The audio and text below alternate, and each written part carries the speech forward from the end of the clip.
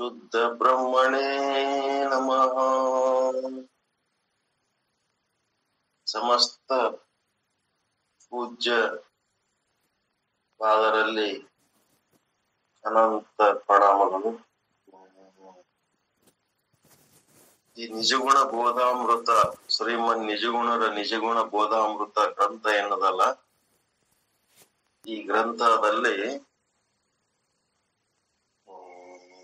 ಎರಡು ಭಾಗ ಈ ಬುಕ್ ಒಂದು ನೀತಿ ಬೋಧೆ ಇನ್ನ ಒಂದು ತತ್ವ ಬೋಧೆ. ಆ ನೀತಿ ಬೋಧೆ, ತತ್ವ ಬೋಧೆ. ನಿಜಗುಣರ ನೀತಿ ಬೋಧೆ ಅಂದ್ರ ಈಗೇನು ನಡೆದದ? ಇದು ನೀತಿ ಬೋಧೆ. ಈ ನೀತಿ ಬೋಧೆ ಎಷ್ಟ ಅದಾವಪ್ಪ ನೀತಿಗಳಂತಂದ್ರೆ, ಹ್ಮ್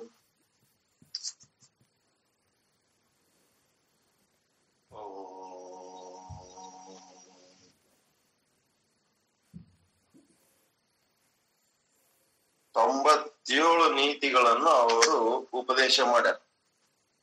ತೊಂಬತ್ತೇಳು ನೀತಿಗಳು. ಅದರೊಳಗೆ ಎಷ್ಟದ ಉಪ ಇದು ಅಂದ್ರೆ ಯಾವುದೇ ಕಾರ್ಯವನ್ನು ಎಚ್ಚರಿಕೆಯಿಂದ ಮಾಡು.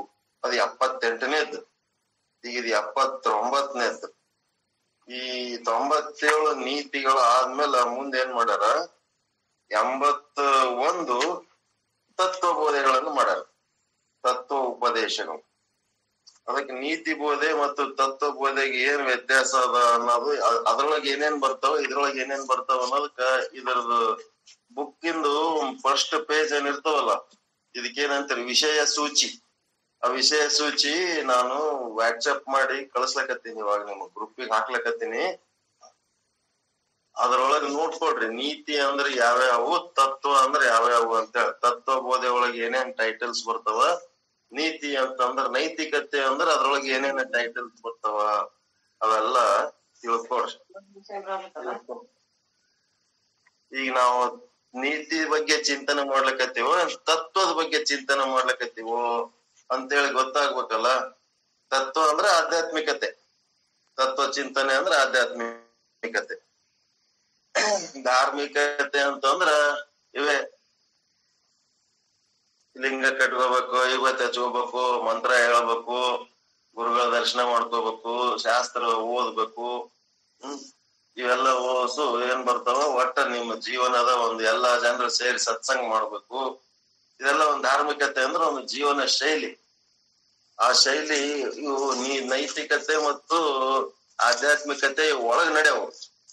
ಈ ಜೀವನ ಶೈಲಿ, ಧರ್ಮ ಏನದಲ್ಲ, ಇದು ಹೊರಗ್ ಕಾಣಿಸೋದ್ ಇದು ಅಡ್ವರ್ಟೈಸ್ಮೆಂಟ್ ಇದು. ಹೊರಗ್ ನೋಡೋರಿಗೆ ಇವ್ರು ಯಾವ ಧರ್ಮದವ್ರು ಅಂತ ಗೊತ್ತಾಗ್ಬೇಕಾದ್ರ ನಿಮ್ಮ ಮಾತು, ಕೃತಿಗಳನ್ನ ಕಂಡು ಗುರುತಿಸ್ಲಕ್ ಬರ್ತು ಅದು ಧಾರ್ಮಿಕತೆ. ನೀವು ಎಷ್ಟು ನೈತಿಕ ಅದಿರಿ ನೀವ್ ಎಷ್ಟು ಆಧ್ಯಾತ್ಮಿಕ ಅದಿರಿ ಹೊರಗ ಮಂದಿಗೆ ಗೊತ್ತಾಗಲ್ಲ. ಅದು ನಿಮ್ಗೆ ಗೊತ್ತು.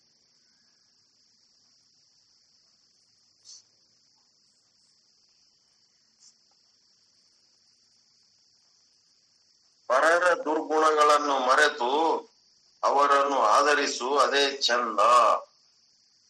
ಇದು ಎಪ್ಪತ್ತೊಂಬತ್ತನೇದು ನೀತಿ ಬೋಧೆ. ಶ್ರೀಮನ್ ನಿಜಗುಣ ಶಿವಯೋಗಿಗಳ ನೀತಿ ಬೋಧಾಮೃತ. ಎಪ್ಪತ್ತೊಂಬತ್ತನೇದು ನೀತಿ ಬೋಧೆ ಇದು ಈ ಗ್ರಂಥ. ನೀತಿ ಬೋಧೆಯ ಭಾಗ ತುದಿಗೆ ಬಂದದ. ಇಲ್ಲಿ ತನಕ ಏನ್ ಸ್ಟಡಿ ಮಾಡಿರಿ ಇದೆಲ್ಲ ನೈತಿಕತೆ ಬಗ್ಗೆ ಹೇಳ್ಕೊಂಡು ಬಂದಾರ. ಇಲ್ಲೇನದ, ಪರರ ದುರ್ಗುಣಗಳು. ಯಾರು ಪರ್ಫೆಕ್ಟ್ ಇಲ್ಲ ಇಲ್ಲಿ. ಪರ್ಫೆಕ್ಟ್ ಇರೋನು ಯಾರು? ಅವನೊಬ್ನೇ ಪರಮಾತ್ಮ. ಉಳಿದ ಎಲ್ಲ ಜೀವಾತ್ಮರು. ಎಲ್ಲ ಯಾರು ಪರ್ಫೆಕ್ಟ್ ಇರ್ತಾರ, ಅವ್ರ ಪರಮಾತ್ಮ ಆಗ್ಬಿಡ್ತಾರ. ಯಾರು ಪರ್ಫೆಕ್ಟ್ ಇರಲ್ಲ, ಅವ್ರ ಜೀವಾತ್ಮ ಆಗ್ತಾರ. ಅಂದ್ರೇನು ಜೀವಾತ್ಮ ಅಂದ್ರೇನು ಟು ಬಿಕಮ್ ಗಾಡ್ ಅಂತ. ಮುಂದೆ ಇನ್ನು ಪರಮಾತ್ಮ ಆಗುವುದಕ್ಕೆ ಆ ಚೈತನ್ಯ ಪ್ರಯತ್ನ ಮಾಡುತ್ತಿದೆ. ಜೀವ ಏನಾಗ್ತದ? ಮುಂದೆ ಶಿವನಾಗುವ ಪ್ರಯತ್ನ ಮಾಡ್ತಾ ಇದೆ. ಶಿವ ಆಗೋದಕ್ಕೆ ಒಂದು ಪ್ರಯತ್ನ ಮಾಡ್ತಾ ಇದೆ. ಇಲ್ಲಿ ಚೈತನ್ಯ ಉತ್ಪನ್ನ ಆಗ್ತದ. ಮುಂದೆ ಅದು ಜಡ ವಸ್ತುವಿನ ರೂಪದಲ್ಲಿ ಉತ್ಪನ್ನ ಆಗಿ ಅದ್ರೊಳಗ ಪ್ರಾಣ ಉತ್ಪನ್ನಾಗಿ, ಅದ್ರೊಳಗ ಮನಸ್ಸು ಉತ್ಪನ್ನಾಗಿ ಅದ್ರ ಬುದ್ಧಿ ಉತ್ಪನ್ನಾಗಿ, ಅವೆಲ್ಲ ಏನೇನ್ ಉತ್ಪನ್ನ ಹಾಕೋತ ಹೋಗಿ ಕೊನೆಗೆ ಅದೇನಾಗ್ತದ ತನ್ನ ತಾನರಿತು ಶಿವನಾಗ್ತದ ಚೈತನ್ಯ ಕಂಟಿನ್ಯೂಸ್ ಇದು ನಡೆಯೋ ಪ್ರೋಸೆಸ್ ಇದು ಜೀವ ಆಗಿ ಹುಟ್ಟಿ ಬರೋದು ಶಿವನಾಗಿ ಹೋಗೋದು. ಜೀವ ಆಗಿ ಹುಟ್ಟಿ ಬರೋದು ಶಿವನಾಗಿ ಹೋಗೋದು. ಯಾವಾಗ? ಸಾಧನೆ ಮಾಡಿದ್ರು. ಮತ್ತೆ ಸಾಧನೆ ಮಾಡ್ಲಿಲ್ಲ ಅಂತಂದ್ರ ಜೀವ ಆಗಿ ಹುಟ್ಟಿ ಜೀವ ಆಗಿ ಹೋಗ್ತಿರ್ತು. ಗಾರ್ಬೇಜ್ ಇನ್ ಗಾರ್ಬೇಜ್ ಔಟ್ ಅಂತ. ಕಸ ಒಳಗ್ ಹಾಕಿದ ಮೇಲೆ ಮಷಿನ್ದಾಗ ಹಾಕಿದ್ಮೇಲೆ ಅದ್ರಾಗಿಂದು ರಸ ಹೊರಗ್ ಬರ್ಬೇಕು. ಹೊರಗಿನ ಕಸನೆ ಬತ್ತಂದ್ರೆ ಏನ್ ಮಾಡ್ಬೇಕು? ಹ್ಯಾಂಗ್ ಹುಟ್ಟ್ಯದ ಹಂಗೆ ಹೋಗ್ಬಿಡ್ತದೆ ಜೀವ. ಏನು ಸಾಧನೆ ಮಾಡ್ಲಾರ್ದೆ. ಅದಕ್ಕೆ ಏನಾಗ್ಬೇಕಂದ್ರೆ ಸಾರ್ಥಕತೆ ಆಗ್ಬೇಕು. ಮನುಷ್ಯ ಜನ್ಮ ಪಡ್ಕೊಂಡ್ ಬಂದ್ಮೇಲೆ ಜನ್ಮ ಸಾರ್ಥಕ ಆಗ್ಬೇಕು. ಆದಷ್ಟು ಏನ್ ಮಾಡ್ಬೇಕಂದ್ರ ಈ ಶಾಸ್ತ್ರದ ಅಧ್ಯಯನದಲ್ಲಿ ಮುಳುಗಬೇಕು. ಬಹಳ ಮುಖ್ಯ ಅದ ಶಾಸ್ತ್ರದ ಅಧ್ಯಯನದಲ್ಲಿ ಮುಳುಗಿ ನಿಮ್ಮ ಜೀವನದ ಮುಖ್ಯ ಗುರಿ ಶಾಸ್ತ್ರದ ಅಧ್ಯಯನದಲ್ಲಿ ಮುಳುಗಿರುವುದು. ನಿಮ್ಮ ಶಾಸ್ತ್ರದ ಅಧ್ಯಯನದಲ್ಲಿ ಮುಳುಗಿರೋದೇ ನಿಮ್ಮ ಹೆದ್ದಾರಿ, ಜೀವನದ ಹೆದ್ದಾರಿ. ನೀವೇನ್ ಮಾಡ್ಬೇಕು? ಅದಕ್ಕೆ ಸಂಬಂಧಪಟ್ಟಂತೆ ಎಡಕ್ಕ, ಬಲಕ್ಕ ಏನಾರ ಫೇಸ್ಬುಕ್ ನಗೋ ವಾಟ್ಸ್ಆಪ್ ನಗೋ, ಮತ್ತಿನ್ನೇನೇನೋ ನಿಮಗ ಈ ಒಂದು ತತ್ವಜ್ಞಾನಕ್ಕೆ ಉಪಯೋಗ ಆಗ್ತಾವ ಅನಂತವಷ್ಟೇ ನೀವು ಪೋಸ್ಟ್ ಮಾಡಬೇಕು. ಅದನ್ನ ಬಿಟ್ಟು ಅಧ್ಯಯನ ಇಲ್ಲ, ಅನುಭವ ಇಲ್ಲ, ಸುಮ್ನೆ ಮಂದ್ಯಾಗ ಜಮಾ ಆಗಿ ಒಂದ್ ಇಪ್ಪತ್ತೈದು ಮಂದಿ ಕುಂತು ಬಿಡೋದು, ಏನು ಸ್ಟಡಿ ಮಾಡೋದಿಲ್ಲ, ಓದೋದಿಲ್ಲ, ಬರೆಯೋದಿಲ್ಲ. ಬರೀ ಆ ಕಡೆ ಯಾರೋ ಕಳಿಸಿದ ವಾಟ್ಸಪ್ ಮೆಸೇಜ್ಗಳು ಯಾರಿಗೋ ಕಳಿಸ್ ಗೊತ್ತ. ಸಣ್ಣ ಹುಡುಗರಂಗ ಜೀವನ ಕಳೀತಿರಲ್ಲ, ಇದೆಲ್ಲ ನಿಮ್ಮದು ವೇಸ್ಟ್ ಮಾಡ್ಕೊಳ್ಳೋದು. ಇದೆಲ್ಲ ನಿಮ್ದೇನದ? ಅಸಾರ್ಥಕತೆ ಮಾಡ್ಕೊಳ್ಳೋದು. ಅದರಿಂದ ನೀವೇ ಉಪಯೋಗ ತೆಕ್ಕೊಂಡಿರಂಗಿಲ್ಲ. ಇನ್ನೊಬ್ರಿಗೆ ಏನು ಕಳ್- ಕಳಿಸ್ತೀರಿ ನೀವು? ಹ್ಮ್? ಮೊಬೈಲ್ ಹಿಂಗ್ ಓಪನ್ ಮಾಡಿದ್ರೆ ಸಾಕು. ನಾಲ್ಕು ಐದು ನಾಲ್ಕು ಐದು ಮೆಸೇಜ್ ಕಳಿಸಿರ್ತೀರಿ. ಏನ್ ಮೆಸೇಜ್ ಅವ ನಿಮ್ದು? ಅದರಿಂದ ಮೊದಲು ನೀವರೇ ಉಪಯೋಗ ತಕ್ಕೊಂಡಿರ? ನೀವು ಓದಿರ? ಏನಿಲ್ಲ. ಸುಮ್ನೆ ಆ ಕಡೆ ಇದು. ಯಾರೋ ಕಳಿಸಿದ್ ಈ ಕಡೆ ಹಾಕೋತ್ ಕೂತಿರೋದು. ಎಲ್ಲ ಸುಮ್ನೆ ಏನು ಮೆಮೊರಿ ಬಾಕ್ಸ್ ಎಲ್ಲ ಫಿಲ್ ಅಪ್ ಮಾಡೋದು. ಮೊದಲ ನಿಮ್ಮದು ಸಾರ್ಥಕ ಮಾಡ್ಕೊಳ್ರಿ, ನೀವು ಅಧ್ಯಯನದಾಗ ಮುಣಗ್ರಿ ಇಂಬೈ ಯುವರ್ ಸೆಲ್ಫ್ ನಿಮ್ಮೊಳಗೆ ನೀವು ಇಣಕ್, ಇಣಕ್ರಿ ಅಣಕಾಕಿ ನೋಡ್ರಿ, ನಿಮ್ಮೊಳಗೆ ನೀವ್ ಏನ್ ಇದೀರಿ ಹೆಂಗ್ ಇದೀರಿ ಖಾಲಿ ಡಬ್ಬ, ಸುಮ್ನೆ ಹೊರಗೆ ವಾಟ್ಸಪ್ ಅವು ಇವು. ನೋಡ್ರಿ ಅವರೆಲ್ಲ ಸೀರಿಯಸ್ ಆಗಿ ಹಿರಿಯ ಸಾಧಕರು. ಯಾವ ರೀತಿ ಅದ್ರೊಳಗ್ ಮುಳುಗಿರ್ತಾರ ಯಾವ ರೀತಿ ಅವ್ರು ಹೆಂಗ್ ಸಾಯಂಕಾಲ ನೋಡ್ರಿ ಅದ್ ಎಂಟು ಗಂಟೆಗೆ ಅವ್ರೆಲ್ಲರೂ ಯಾವ ರೀತಿ ಅವ್ರ ಜೀವನ ಕಳಿಲಕತ್ತಾರ ಬಸ್ಸಿನಾಗಿದ್ರೆ ಟ್ರೈನ್ ಆಗಿದ್ರೆ ಎಲ್ಲಿದ್ರು ಸಹಿತ ಇಲ್ಲೇದೀನ್ರಿ ಅಲ್ಲೇ ನಿನ್ರಿ ನಾನು ಇವತ್ತು ಅಟೆಂಡ್ ಆಗ್ಲಿಲ್ಲ ಅಂತಂದ್ರ ಜೀವ ಹೋದಂಗ ಆಗ್ತಿರ್ತದ ಅಂತವ್ರನ್ನ ನೋಡಿ ಆದರ್ಶ ಮಾಡಿ ಇಟ್ಕೊಳ್ರಿ ಒಂದ್ ಸ್ವಲ್ಪ. ಸಣ್ಣ ಹುಡುಗರ ವಾಟ್ಸ್ಆಪ್ ನಾಗ ಫೇಸ್ಬುಕ್ ನಾಗ, ತತ್ವಕ್ಕೆ ಸಂಬಂಧ ಇಲ್ಲ, ಸುಳಗಾಡಿಲ್ಲ, ಏನ್ ಬೇಕಾದ ಮೆಸೇಜ್ ಹಾಕೋದು, ಜಗಳ ಆಡಕ್ ನಿಂದ್ರದು, ಇವೆಲ್ಲ ಏನ್ರಿ? ಅರವತ್ತೈದು, ಎಪ್ಪತ್ತು ವರ್ಷ ವಯಸ್ಸಾದ್ಮೇಲೆ. ಹ? ನಾಚಿಕೆ ಬರ್ಬೇಕು ನಿಮಗೊಂದಿಷ್ಟು ಇಂತ ವಿಷಯಗಳಿಗಾಗಿ ನಾವು ಚರ್ಚೆ ಮಾಡ್ಲಕತ್ತೀವಲ್ಲ ಕೆಲ್ಸಕ್ ಬರ್ಲಾರ್ದ ಅಂತ ಹೇಳಿ ಹ? ಸೀರಿಯಸ್ನೆಸ್ ಬೇಡ ನಿಮಗೆ. ಇಷ್ಟೊಂದು ದೊಡ್ಡ ಸಾಹಿತ್ಯ, ಇಷ್ಟೊಂದು ದೊಡ್ಡ ಅನುಕೂಲತೆಗಳು ಸಿಕ್ಕಾಗ ಯಾವೆಲ್ಲ ಮಾಡ್ರಿ ಬೇಡ ನಂಗಿಲ್ಲ ನಿಮ್ಮ ಸಾಧನೆಗೆ ಉಪಯೋಗ ಆಗಂತವು ನಿಮ್ಮ ಬದುಕಿಗೆ ಏನರೇ ಅದರಿಂದ ಉಪಯೋಗ ಆಗಂತವು ಯೂಸ್ ಮಾಡ್ರಿ.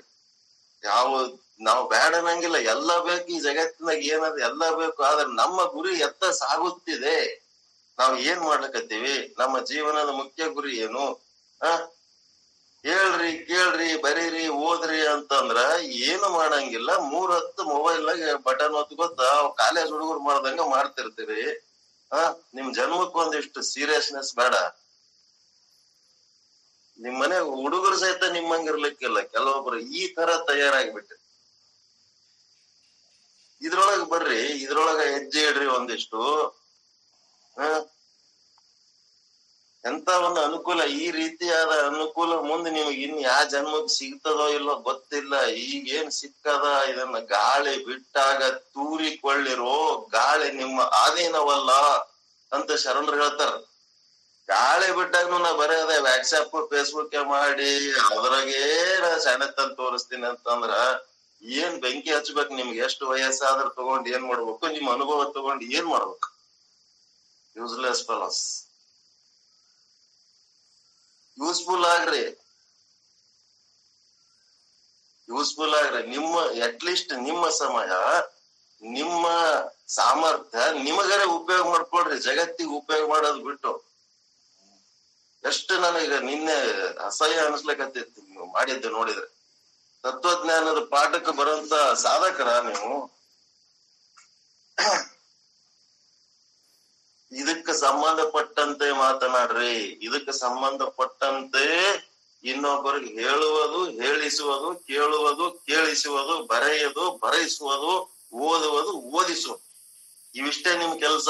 ಬೇರೆ ಏನೇನು ಮಾಡ್ಬೇಡ್ರಿ. ಶುದ್ಧ ಬ್ರಹ್ಮಜ್ಞಾನಿಗಳ ಆಗ್ಬೇಕು ಅನ್ನೋದ್ ಇಂಟ್ರೆಸ್ಟ್ ಇದ್ರೆ ಇದಿಷ್ಟೇ ಮಾಡ್ರಿ ಉಳಿದದ್ದೆಲ್ಲ ಮಾಡ್ಲಕ್ ಹೋಗ್ಬೇಡ್ರಿ. ಉಳಿದದ್ದು ಮಾಡ್ಲಕ್ ಬೇಡನಲ್ಲ ಅದು ಇದಕ್ಕೆ ಸಂಬಂಧಪಟ್ಟದ್ ಇರ್ಬೇಕು ಅಂತದನ್ನ ಮಾಡ್ರಿ. ಇದಕ್ಕೆ ಏನೇನು ಸಂಬಂಧ ಇಲ್ಲ. ಸುಮ್ಮನೆ ಯಾರೋ ಎಕ್ಕಡೋ ಮೆಸೇಜ್ ಈ ಒಂದ್ ಇಪ್ಪತ್ತೈದು ಗ್ರೂಪ್ ನಿಮ್ ಮೊಬೈಲ್ ನಾಗ ಇರ್ತಾವ, ಒಂದ್ ಇಪ್ಪತ್ತೈದು ಗ್ರೂಪ್ ನಮ್ ಮೊಬೈಲ್ ನಾಗ ಇರ್ತಾವ. ನಮ್ ಬ್ರಹ್ಮಜ್ಞಾನಗಳಿಗೆ ಇದು ಈ ಈ ಮೆಸೇಜ್ ಇಂದ ಏನಾರ ಉಪಯೋಗ ಆಗ್ತದ ಏನೋ ಅನ್ನಂತ ಒಂದ್ ಸ್ವಲ್ಪ ಪ್ರಜ್ಞೆ ಬೇಡ. ಏನ್ ಬೇಕಾದೆ ಹಾಕದ. ನಿಮ್ಮ ಸಾಮರ್ಥ್ಯ, ನಿಮ್ಮ ಆಯುಷ್ಯ, ನಿಮಗ ಉಪಯೋಗ ಮಾಡ್ಕೊಳಕ್ಕ ನಮಗ್ ಉಪಯೋಗ ಆಗೋದ್ ಬೇಕಾಗಿಲ್ಲ. ಅಟ್ಲೀಸ್ಟ್ ನಿಮಗಾದ್ರೂ ಉಪಯೋಗ ಮಾಡ್ಕೊಂಡು ಈ ವಯಸ್ಸಿನಲ್ಲಿ ಇಂತ ಮಾತುಗಳು ಹೇಳಿಸಿಕೊಳ್ಳಂತ ಪ್ರಸಂಗ ಬರಬಾರದು. You must be careful about your activities what I am doing whether it is useful or not whether it is necessary or not ಇವೆಲ್ಲ ಜಜ್ಮೆಂಟ್ ಅರಿವಿನಿಂದ ನಡಿಬೇಕು. ಯಾವುದೇ ಏನ್ ಮಾಡ್ಬೇಕು? ಪರರ ದುರ್ಗುಣಗಳನ್ನು ಮರೆತು ಅವರನ್ನು ಆಧರಿಸು. ಇಲ್ಲಿ ಏನ್ ಹೇಳಕತ್ತಾರ ಅಂತಂದ್ರೆ, ನಿಮ್ಮ ದುರ್ಗುಣಗಳನ್ನ ಎತ್ತಿ ಆಡ್ಲಕತ್ತಿಲ್ಲ, ನಾವು ಇಲ್ಲಿ ಬೈಲಕತ್ತಿಲ್ಲ. ನೀವೆಲ್ಲ ಗೌರವಾನ್ವಿತರೇ, ನಿಮಗೆಲ್ಲ ರೆಸ್ಪೆಕ್ಟ್ ಇದೆ. ಆದರೆ, ನಿಮ್ಮಲ್ಲಿರುವ ಕೆಲವೊಂದನ್ನ ಸುಧಾರಣೆ ಮಾಡ್ಕೊಳ್ಳಕ್ಕೆ, ಈ ಆಧ್ಯಾತ್ಮ ಸಾಧನೆಯಲ್ಲಿ ಸೀರಿಯಸ್ ಆಗಿ ತೊಡಗುವುದಕ್ಕ ನಿಮ್ಗ ನಾವು ರಿಕ್ವೆಸ್ಟ್ ಮಾಡ್ಕೊಳ್ಳೋದೇ ಇದೊಂದು ರೀತಿಯಾದಂತ ರಿಕ್ವೆಸ್ಟ್ ಅಷ್ಟೇ ಇದ್ರೊಳಗೆ ನೀವು ಪರರ ದುರ್ಗುಣಗಳನ್ನ ಮರೆತು ಅವರನ್ನು ಆಧರಿಸು. ಒಬ್ಬೊಬ್ಬರ ಬಲ್ಲಿ ಒಂದೊಂದು ವೀಕ್ನೆಸ್ ಅದಾವ. ಯಾರು ಪರ್ಫೆಕ್ಟ್ ಇಲ್ಲ. ಯಾರ ಪರ್ಫೆಕ್ಟ್ ಇಲ್ಲ, ಅವರು ಪರ್ಫೆಕ್ಟ್ ಆಗೋದಕ್ಕೆ ಪ್ರಯತ್ನ ಮಾಡಬೇಕು. ಇನ್ನ ಒಂದು ಟೀಮ್ ಪರ್ಫೆಕ್ಟ್ ಆಗ್ಲಕ್ ಹೋಗ್ಬಾರ್ದು. ಅದಕ್ಕೆ ಏನ್ ಮಾಡ್ಬೇಕು? ಪರ್ಫೆಕ್ಟ್ ಇಲ್ಲ ಅಂತ ಹೇಳಿ ಒಬ್ಬೊಬ್ಬರದು ಒಂದೊಂದು ಕೆಟ್ಟ ಗುಣಗಳನ್ನ ನಾವು ಪರಿಗಣಿಸಿದ್ರೆ ಅವ್ರೆಲ್ಲರೂ ದೂರ ಆಗ್ತಾರ. ಒಬ್ಬೊಬ್ಬರ ಬಗ್ಗೆ ಒಂದೊಂದು ಅಭಿಪ್ರಾಯ. ಅವನು ಸಿಟ್ಟಿನವ ಅದಾನ ಇವನು ಸಂಶಯಾತ್ಮ ಅದನ ಮತ್ತೊಬ್ಬವ ಸೊಕ್ಕಿನವ ಅದನ ಇನ್ನೊಬ್ಬವ ಜಿಪುಣ ಅದನ ಒಬ್ಬವ ಹೊಟಿಕಿಚ್ಚಿನವ ಅದನ ಅದನ ಏನ್ ಮಾಡ್ತೀರಿ? ಎಲ್ಲರೂ ಒಂದೊಂದ್ ತರ ಅದಾರ. ಏನ್ ಮಾಡ್ಬೇಕು ಅವ್ರಿಗೆ? ಒಬ್ಬ ಕಳ್ಳ ಅದನ. ಈ ಕಳ್ಳ ಅದನ. ಕಳ್ಳನ್ ದೂರ ಮಾಡ್ಕೋತೀರ? ಕಳ್ಳ ಅದನ ಅಂದ್ರೆ ಅವನಿಗೆ ದೂರ್ ಮಾಡ್ಕೋತೀರ? ಏನ್ ಮಾಡ್ಬೇಕು ಹೇಳ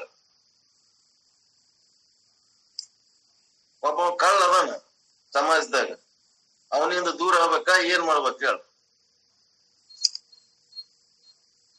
ಎಚ್ಚರ ಇರ್ಬೇಕು ಅವ ನಿಮ್ ಸಮೀಪ ಬಂದಾಗ ಎಚ್ಚರ ಇರ್ಬೇಕು ಅಷ್ಟೇ, ಹುಷಾರಾಗಿರ್ಬೇಕು.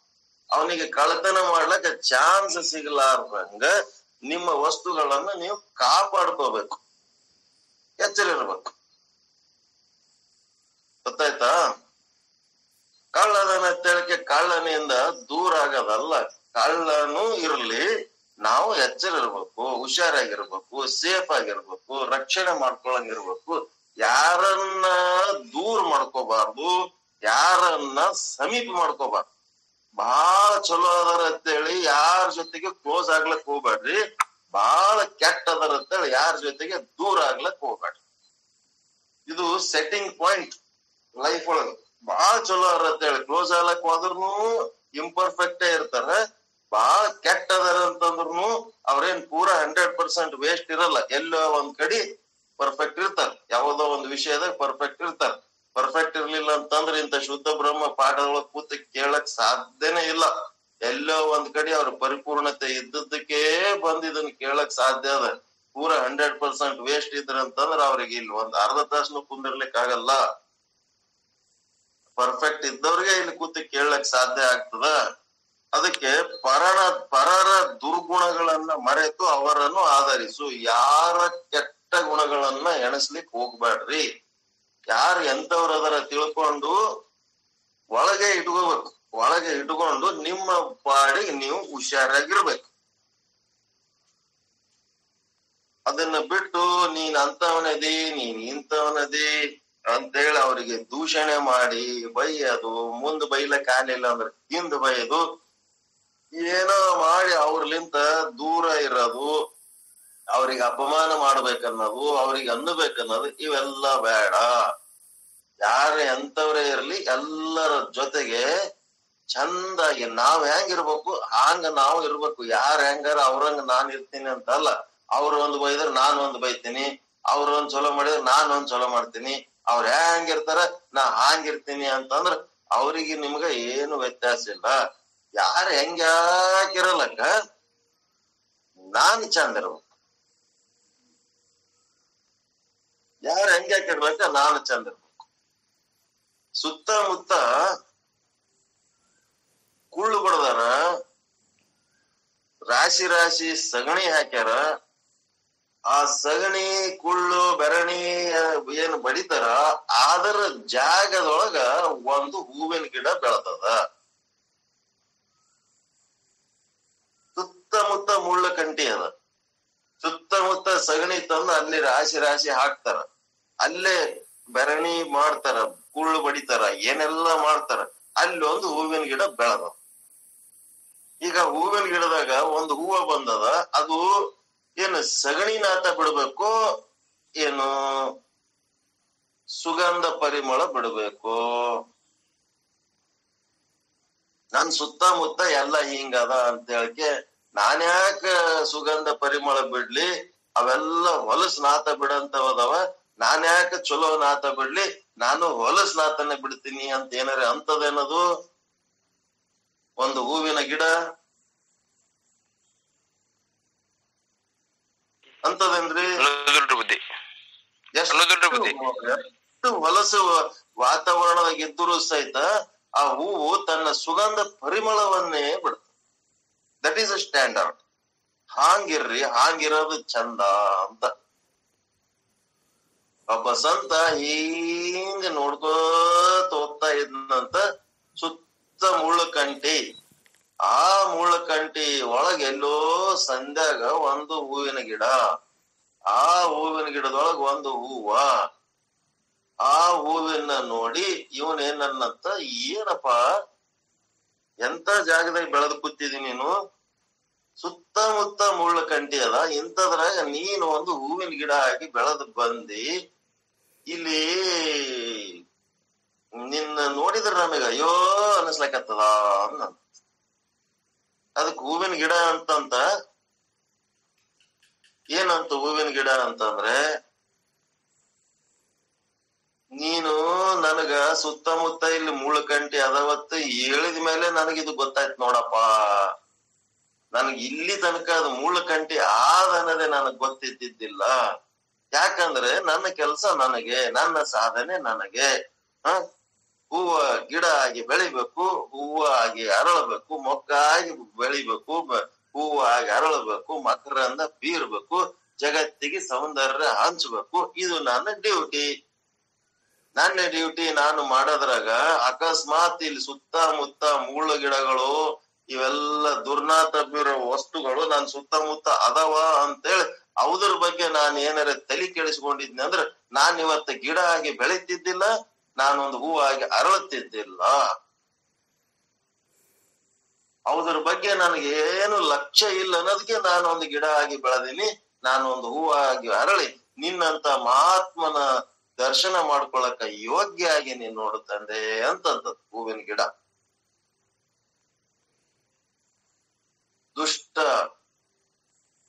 ಕೆಟ್ಟ ಪದಾರ್ಥಗಳ ಮಧ್ಯೆ ಇದ್ರೂ ಸಹಿತ ಅವುಗಳ ಬಗ್ಗೆ ಕೆಟ್ಟತನದ ಬಗ್ಗೆ, ದುಷ್ಟತನದ ಬಗ್ಗೆ ಯಾವ ಕಮೆಂಟ್ಗಳು ಮಾಡ್ಲಾರ್ದೆ, ಅವದ್ರ ಬಗ್ಗೆ ತಲೆ ಕೆಡಿಸ್ಕೊಳ್ಳಾರ್ದೆ ನಿಮ್ಮ ಕೆಲಸದಾಗ ನೀವು ತಲ್ಲೀನರಾಗಿದ್ರಿ ಅಂತಂದ್ರೆ ನಿಮಗೆ ಪರಮಾತ್ಮನ ಸಾಕ್ಷಾತ್ಕಾರಕ್ಕೆ ಯೋಗ್ಯತೆ ಬರ್ತದ, ಮೋಕ್ಷ ಹೊಂದುವುದಕ್ಕೆ ಯೋಗ್ಯತೆ ಬರ್ತದ. ಅದನ್ನೇ ಅವ್ರು ಹೇಳಕತ್ತಾರ, ಪರರ ದುರ್ಗುಣಗಳನ್ನು ಮರೆತು ಅವರನ್ನು ಆಧರಿಸು.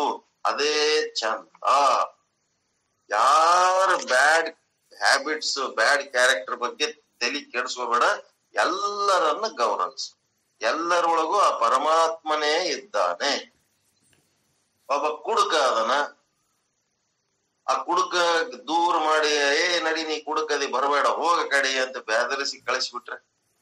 ಆ ಕುಡುಕನೊಳಗನು ಬ್ರಹ್ಮದನ ಕುಡುಕನ್ಲಿಂತ ಏನು ಉಪಯೋಗ ಇಲ್ಲ ಏನು ಜಗತ್ತಿಗೆ. ಅವ ಕುಡುಕ ಯಾವ್ದೋ ಒಂದು ಕೆಟ್ಟ ಹ್ಯಾಬಿಟ್ ಮಾಡಿ ತನ್ನ ಜೀವನ ಹಾಳು ಮಾಡ್ಕೊಂಡಂತಂದ್ರೆ ಆತನ ಬಗ್ಗೆ ನೀವು ಒಂದು ನೂರು ವರ್ಷ ಪ್ರವಚನ ಹೇಳಿದ್ರು ಅರ್ಥ ಆಗಂಗಿಲ್ಲ. ಕುಡುಕ ಅಂದ್ರೆ ಹೆಂಗಿರ್ತಾನ ಕುಡುದು ಎಲ್ಲಿ ಬೇಕಲ್ಲಿ ಬೀಳ್ತಾನ? ಕುಡ್ದ ಹಂಗ್ ಮಾಡ್ತಾನ? ಕುಡ್ದು ಹಿಂಗ್ ಮಾಡ್ತಾನ? ಒದರಾಡ್ತಾನ? ಸಂಸಾರ ಹಾಳ ಆತದ ಮರ್ಯಾದ ಮರ್ಯಾದಿರಂಗಿಲ್ಲ ಹೊರಗೆ ಅವನು ಕೇರ್ ಮಾಡಂಗಿಲ್ಲ? ಹಿಂಗೆಲ್ಲ ಕುಡ್ಕೊಂಡ್ ಮಾತ ಹಂಗ ಹಿಂಗ ಕೇರ್ಲೆಸ್ ಮಾಡ್ತಾರೆ ನೀವ್ ಏಟ್ ಎಕ್ಸ್ಪ್ಲೇನ್ ಮಾಡಿದ್ರು ನಿಜವಾದ ಕುಡುಕ ಎದುರು ಬಂದು ನಿಂತಾಗ ಒಂದ್ ನಿಮಿಷನಾಗ ಅದೆಲ್ಲ ಅರ್ಥ. ಬರೇ ತೇರಿ ಆಯ್ತು. ಅವನ್ ಏನ್ ಮಾಡ್ಯಾನ? ಕುಡುಕನ ಬಗ್ಗೆ ತೇರಿ ಹೇಳಿದ್ರೆ ಸಾಲಂಗಿಲ್ಲಪ್ಪ.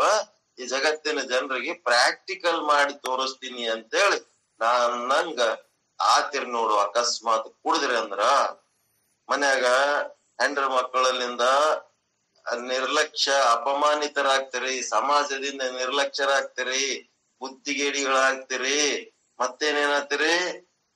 ಸಂಪತ್ತ ಹಾಳು ಮಾಡ್ಕೋತೀರಿ, ಬಡತನ ಎಲ್ಲಿ ಬೇಕಲ್ಲಿ ಕುಡಿದು ಬಿದ್ದು ಈ ರೀತಿ ಜೀವನ ಹಾಳು ಮಾಡ್ಕೋತೀರಿ ಅಂತೇಳಿ ತಮ್ಮ ಇಡೀ ಜೀವನ ಹಾಳು ಮಾಡ್ಕೊಂಡು ತಮ್ಮ ಹೆಂಡ್ರ ಮಕ್ಕಳಿಗೆ ಬೈಲಿಗಿಟ್ಟು ಹೋಗ್ಬಿಡ್ತಾರ.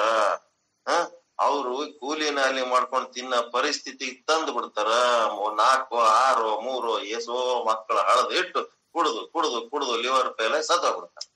ಕುಡ್ದು ಹಿಂಗೆಲ್ಲ ಉಚ್ಚುಚ್ಚು ಮಾಡಿದ್ರಿ ಅಂತಂದ್ರ ನಿಮ್ ಸಂಸಾರನು ನನ್ ಸಂಸಾರದಂಗ ಆತದ ನೋಡು ಅಂತ ಪ್ರಾಕ್ಟಿಕಲ್ ಮಾಡಿ ತೋರ್ಸ್ಲಕ್ಕ ಬಂದ ನಾವು ಭೂಮಿ ಮೇಲೆ ಬ್ರಹ್ಮ ಕಳಿಸಿದ್ದೆ ಅವನಿಗೆ ಅಂತದ್ ಮಾಡ್ಲಿಕ್ಕೆ ಕಳಿಸನ ಅಂತದೊಂದು ಡೆಮೋ ಮಾಡಿ ಹೋಗ್ಬಿಡ್ತಾನ. ಅವನಿಗೇನು ಯೂಸ್ಲೆಸ್ ಫೆಲೋ ಅಂತೀರೇನ ಅವನಿಗೆ? ಕೆಟ್ಟ ಅಂತೀರೇನೀಗ ಅವನ್ಲಿಂತ ಉಪಯೋಗ ಆಯ್ತಾ ಇಲ್ಲ ಜಗತ್ತಿಗೆ? ಎಲ್ಲರಿಗೂ ಒಂದು ಆದರ್ಶ ಸಿಕ್ತಿಲ್ಲ, ಹಿಂಗಿರಬಾರ್ದು ಅಂತ. ಹಿಂಗಿರ್ಬೇಕು ಅನ್ನೋರೇ ಆದರ್ಶ ಅಲ್ಲ. ಹಿಂಗಿರಬಾರ್ದು ಅಂತ ಮಾಡಿ ತೋರ್ಸೋರ್ನು ಆದರ್ಶನೇ. ಅವ್ರದೊಂದು ಅವ್ರಂಗ ನಮ್ ಜೀವನ ಆಗ್ಬಾರ್ದಪ್ಪ. ಅಂತ ಹೇಳಕ್ಕೆ ನಿಮಗ್ ಬುದ್ಧಿ ಬರಂಗ ಮಾಡಿದನ ಇಲ್ಲ? ಅವನಿಂದ ಉಪಯೋಗ ಆಯ್ತಾ ಇಲ್ಲ? ಹಿಂಗ ಪ್ರತಿಯೊಂದು everything is useful everything is bright everything is beautiful nothing is useless nothing is ugly everything is good good good ಅಂತ.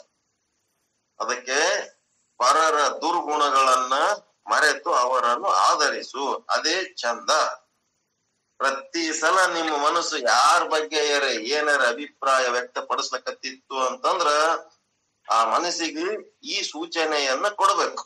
ಇಲ್ಲೇ ಮನಸ್ಸೇ. ಹೋಗಿಲೆ ಜಾಣ ಕೋಗಿಲೆ, ಮುದ್ದು ಕೋಗಿಲೆ ಇನ್ನ ಈಗ ನಾಗರತ್ನ ಆಡಿದ್ರಲ್ಲ ಹಂಗ. ಪರರ ಪರರ ದುರ್ಗಣಗಳನ್ನ ಮರೆತು ಮರೆವು ತಾದರಿಪುವುದೇ ಚಂದಮಮ. ಇದು ನೀತಿ ಕ್ರಿಯಾಚಾರ್ಯ ಸ್ಥಳದ ಹದಿನೈದನೇ ಪದ್ಯ. ಇದು ನೀತಿ ಕ್ರಿಯಾಚಾರ್ಯ ಸ್ಥಳದ ಹದಿನೈದನೇ ಪದ್ಯ, ಇದು ನಿನ್ನಿದು ಯಾವುದೇ ಕಾರ್ಯವನ್ನು ಎಚ್ಚರಿಕೆಯಿಂದ ಮಾಡೋದು ಕೈವಲ್ಯ ಪದ್ಧತಿ ಒಳಗಿಂದ ಅದನ್ನು ನೀತಿ ಕ್ರಿಯಾಚಾರ್ಯದ ಹದಿನೈದನೇ ಪದ್ಯನೇ. ಹದಿನೈದನೇ ಪದ್ಯವನ್ನ ಆಧರಿಸಿ ಎಷ್ಟೊಂದು ಹ್ಮ್ ಅದಪ್ಪ ಇದು ಬಹಳಷ್ಟು ನೀತಿಗಳದಾವ್ ನೋಡ್ರಿ ಹದಿನೈದನೇ ಪದ್ಯದೊಳಗ. ಹದಿನೈದನೇ ಪದ್ಯದೊಳಗ ಬಹಳಷ್ಟು ನೀತಿ ಅದಾವ. ನೀತಿ ಕ್ರಿಯಾಚಾರ್ಯವನ್ನ ಆಧರಿಸೇ ಬಹಳಷ್ಟು ನೀತಿಗಳು ಕೊಟ್ಟಾರ ಅದ್ರೊಳಗ. ಅದ್ರ ಬಗ್ಗೆ ಏನದ ಎಕ್ಸ್ಪ್ಲನೇಷನ್ ಅಂದ್ರೆ ಪರರ ದುರ್ಗುಣಗಳನ್ನು ಕಂಡು ಹಳಿಯಬಾರದು. ಹಳಿ ಅಂದ್ರೆ ಬೈಬ್ಯಾಡ್ರಿ. ಯಾರಿಗೂ ಬೈಬ್ಯಾಡ್ರಿ? ನಿಂದಿಸಬಾರದು. ಆ ರೀತಿ ನಿಂದಿಸುವುದು ದುರ್ಗುಣವಾಗಿದೆ. ಅದು ಯಾನಂದ್ರ ಅವ್ರು ಕೆಟ್ಟವ್ರ ಅದಾರ. ಆ ಕೆಟ್ಟವರಿಗೆ ನೀವು ನಿಂದೆ ಮಾಡಿದ್ರೆ ಏನಾಗ್ಬಿಡ್ತು? ಆ ಕೆಟ್ಟವರ ಪಾಪ ನಿಮಗ್ ಬಂದು ಸುತ್ಕೊಂಡ್ಬಿಡ್ತದ. ನಿಮ್ದು ಏನಾರ ಪುಣ್ಯ ಐತಂದ್ರ ಅವ್ರಿಗೆ ಹೋಗ್ಬಿಡ್ತದ. ನಮ್ಗೆ ಯಾರು ನಿಂದೆ ಮಾಡಿದ್ರೆ ಮಾಡ್ಲಿ ಅಂತ ಯಾಕ ಅಂತಾರಂತಂದ್ರೆ ಆ ನಿಂದೆ ಮಾಡೋರ ಹತ್ರ ಏನಾರ ಪುಣ್ಯ ಇತ್ತಂದ್ರ ಅದ ನಮಗ್ ಬಂದ ಬಿಡ್ತದ. ಮತ್ತ ನಮ್ದು ಏನಾರ ಪಾಪ ಇತ್ತಂದ್ರ ಅವ್ರಿಗೆ ಹೋಗ್ಬಿಡ್ತದ. ಇದು ಹೇಳ್ತಾರ, ಪರರ ದುರ್ಗುಣಗಳನ್ನು ಕಂಡು ಅಳಿಯಬಾರದು, ನಿಂದಿಸಬಾರದು, ಆ ರೀತಿ ನಿಂದಿಸುವುದು ದುರ್ಗುಣವಾಗಿದೆ.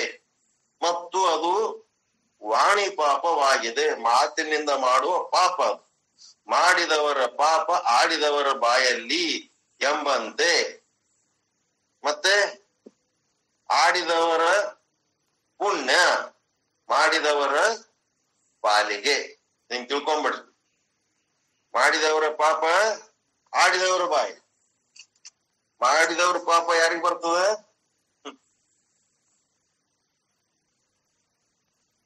ಮಾಡಿದವರ ಪಾಪ ಆಡಿದವ್ರಿಗೆ ಬರ್ತದ ಅಂತ ಯಾರು ಮಾತಾಡ್ತಾರ ಅವರಿಗೆ. ಮತ್ತ ಆಡಿದವ್ರ ಪುಣ್ಯ ಯಾರಿಗ್ ಗೊತ್ತು?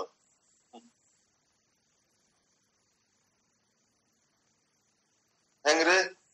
ಮಾತಾಡ್ತಾರಲ್ಲ ಅವ್ರ ಪುಣ್ಯ ಯಾರಿಗ್ ಗೊತ್ತು? ಇಷ್ಟೇ ತಿಳ್ಕೊಳ್ಳೋದು ಸಿಂಪಲ್. ಶರಣಪ್ಪ ಅನ್ನೋ ಮಾಡ್ರಿ. ವಿಡಿಯೋ ಮೀಟ್ ಮಾಡ್ರಿ.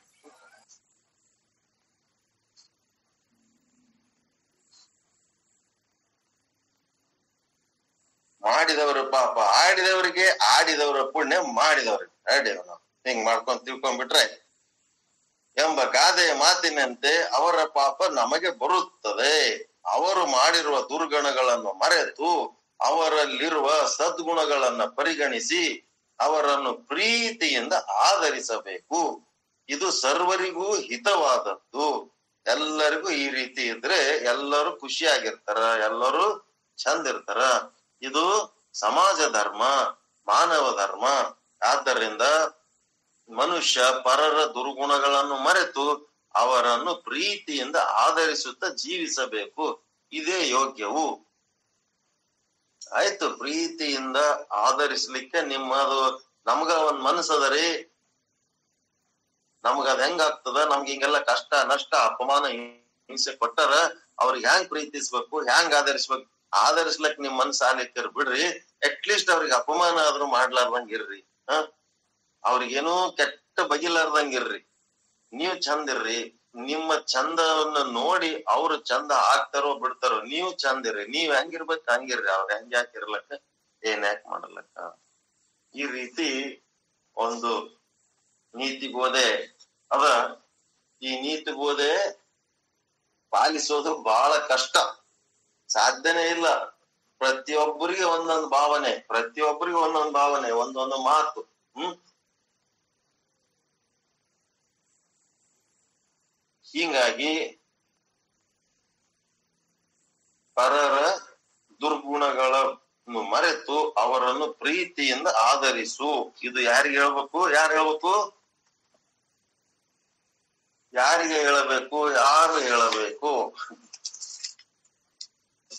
ಪರರ ದುರ್ಗುಣಗಳನ್ನು ಮರೆತು ಪ್ರೀತಿಯಿಂದ ಆಧರಿಸುವಂತ ಯಾರಿಗೆ ಹೇಳಬೇಕು? ಯಾರು ಹೇಳಬೇಕು? ನಾವು ನಮ್ಮ ಮನಸ್ಸಿಗೆ ಹೇಳ್ಬೇಕು. ನಾವು ನಮ್ಮ ಮನಸ್ಸಿಗೆ ಹೇಳ್ಬೇಕು.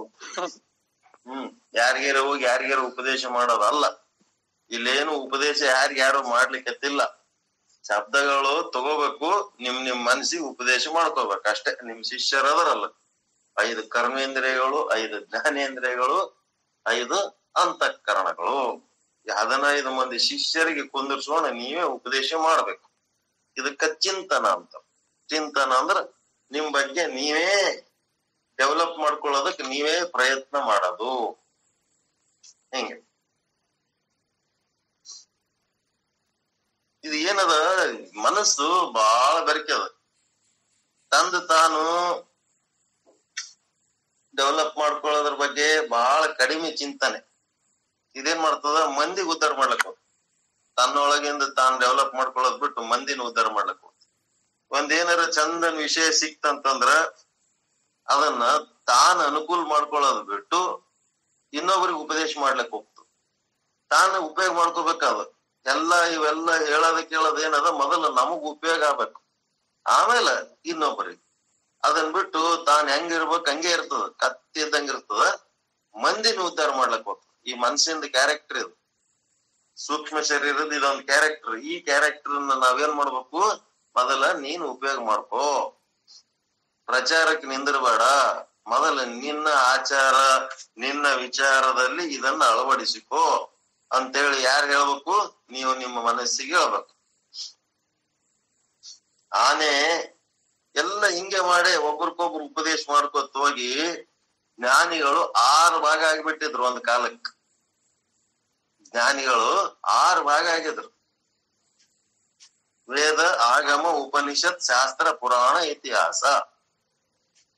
ವೇದಗಳು ಓದಿದವರು ವೈದಿಕರಾಗ್ಬಿಟ್ರು, ಆಗಮಗಳು ಓದ್ಕೊಂಡು, ಆಗಮಿಕರಾದರು ಉಪನಿಷತ್ ಓದ್ಕೊಂಡವ್ರು, ಉಪನಿಷತ್ಕಾರರಾದ್ರು ಮತ್ತೆ ಶಾಸ್ತ್ರ ಓದಿದವರು, ಶಾಸ್ತ್ರಕಾರರಾದ್ರು ಪುರಾಣ ಓದಿದವರು, ಪುರಾಣಿಕರಾದ್ರು ಇತಿಹಾಸ ಓದಿದವರು, ಇತಿಹಾಸಕಾರರಾದ್ರು ಇವರೆಲ್ಲರೂ ತಮ್ಮಟ್ಟಕ್ ತಾವ ಬಹಳ ಶಾಣ್ಯರು ಬಹಳ ಶ್ರೇಷ್ಠ ಅಂತ ತಿಳ್ಕೊಂಡು ಹಿಂಗ್ ಹೊಂಟ್ಬಿಟ್ರು ಬಿಟ್ರು ಶಾಸ್ತ್ರ ಬಲ್ಲವರಾಗಿ ಇನ್ನೊಬ್ಬರಿಗೆ ಉಪದೇಶ ಮಾಡ್ಲಕ್ ಹೊಂಟ್ಬಿಟ್ರು ಇವರೆಲ್ಲ. ಹೆಂಗಿದು ಹ್ಮ್? ಅವ್ರದೇ ಒಂದು ಟೀಮ್ ಕಟ್ಕೊಂಡ್ರು ಅವ್ರದೇ ಒಂದು ಗುಂಪು ಕಟ್ಕೊಂಡು, ಅವ್ರದೇ ಒಂದು ಸಾಧನೆ ಚಾಲು ಆಗ್ಬಿಟ್ರು ಚಾಲು ಆದ್ಮೇಲೆ ಐದು ನೂರು ವರ್ಷಗಳ ಹಿಂದೆ ಆ ಗ್ರಂಥದಾಗ ಅದ ನೋಡ್ರಿ, ವಿಚಾರ ಸಾಗರದಾಗ ಸಾಧು ನಿಶ್ಚಲ್ ದಾಸ್ಜಿ ಅಂತ ಅವತರಿಸಿ ಬಂದ್ರು ಭೂಮಿ ಮೇಲೆ ಬಂದು, ಏನ್ ಮಾಡ್ತೀರಿ ನೀವು? ಎಲ್ಲರೂ ಹೇಳೋದು ಒಬ್ಬ ಪರಮಾತ್ಮನ ವಿಷಯನೇ. ಆನೆ ಸಿದ್ಧಾಂತ ಮಾಡ್ದಂಗ್ ಮಾಡಿಬಿಟ್ರಲ್ಲ, ಆನೆ ಕುರುಡ್ರು, ಆರು ಮಂದಿ ಕುರುಡ್ರಾಗ್ಬಿಟ್ರಿ ಬರೇ ನಿಮ್ಮನ್ನ ನೀವು ಉಪಯೋಗ ಮಾಡ್ಕೊಳ್ಳೋದ್ ಬಿಟ್ಟು ಬೇರೆಯವ್ರಿಗೆ ಉಪದೇಶ ಮಾಡ್ಲಕ್ ಹೋಗಿ, ಒಬ್ಬೊಬ್ರು ಒಂದೊಂದ್ ಕಡೆ ಪಂಡಿತರಾಗಿ ಕೂತ್ ಬಿಟ್ರಲ್ಲ ಈ ತರ ಆದ್ರೆ ಹೆಂಗ?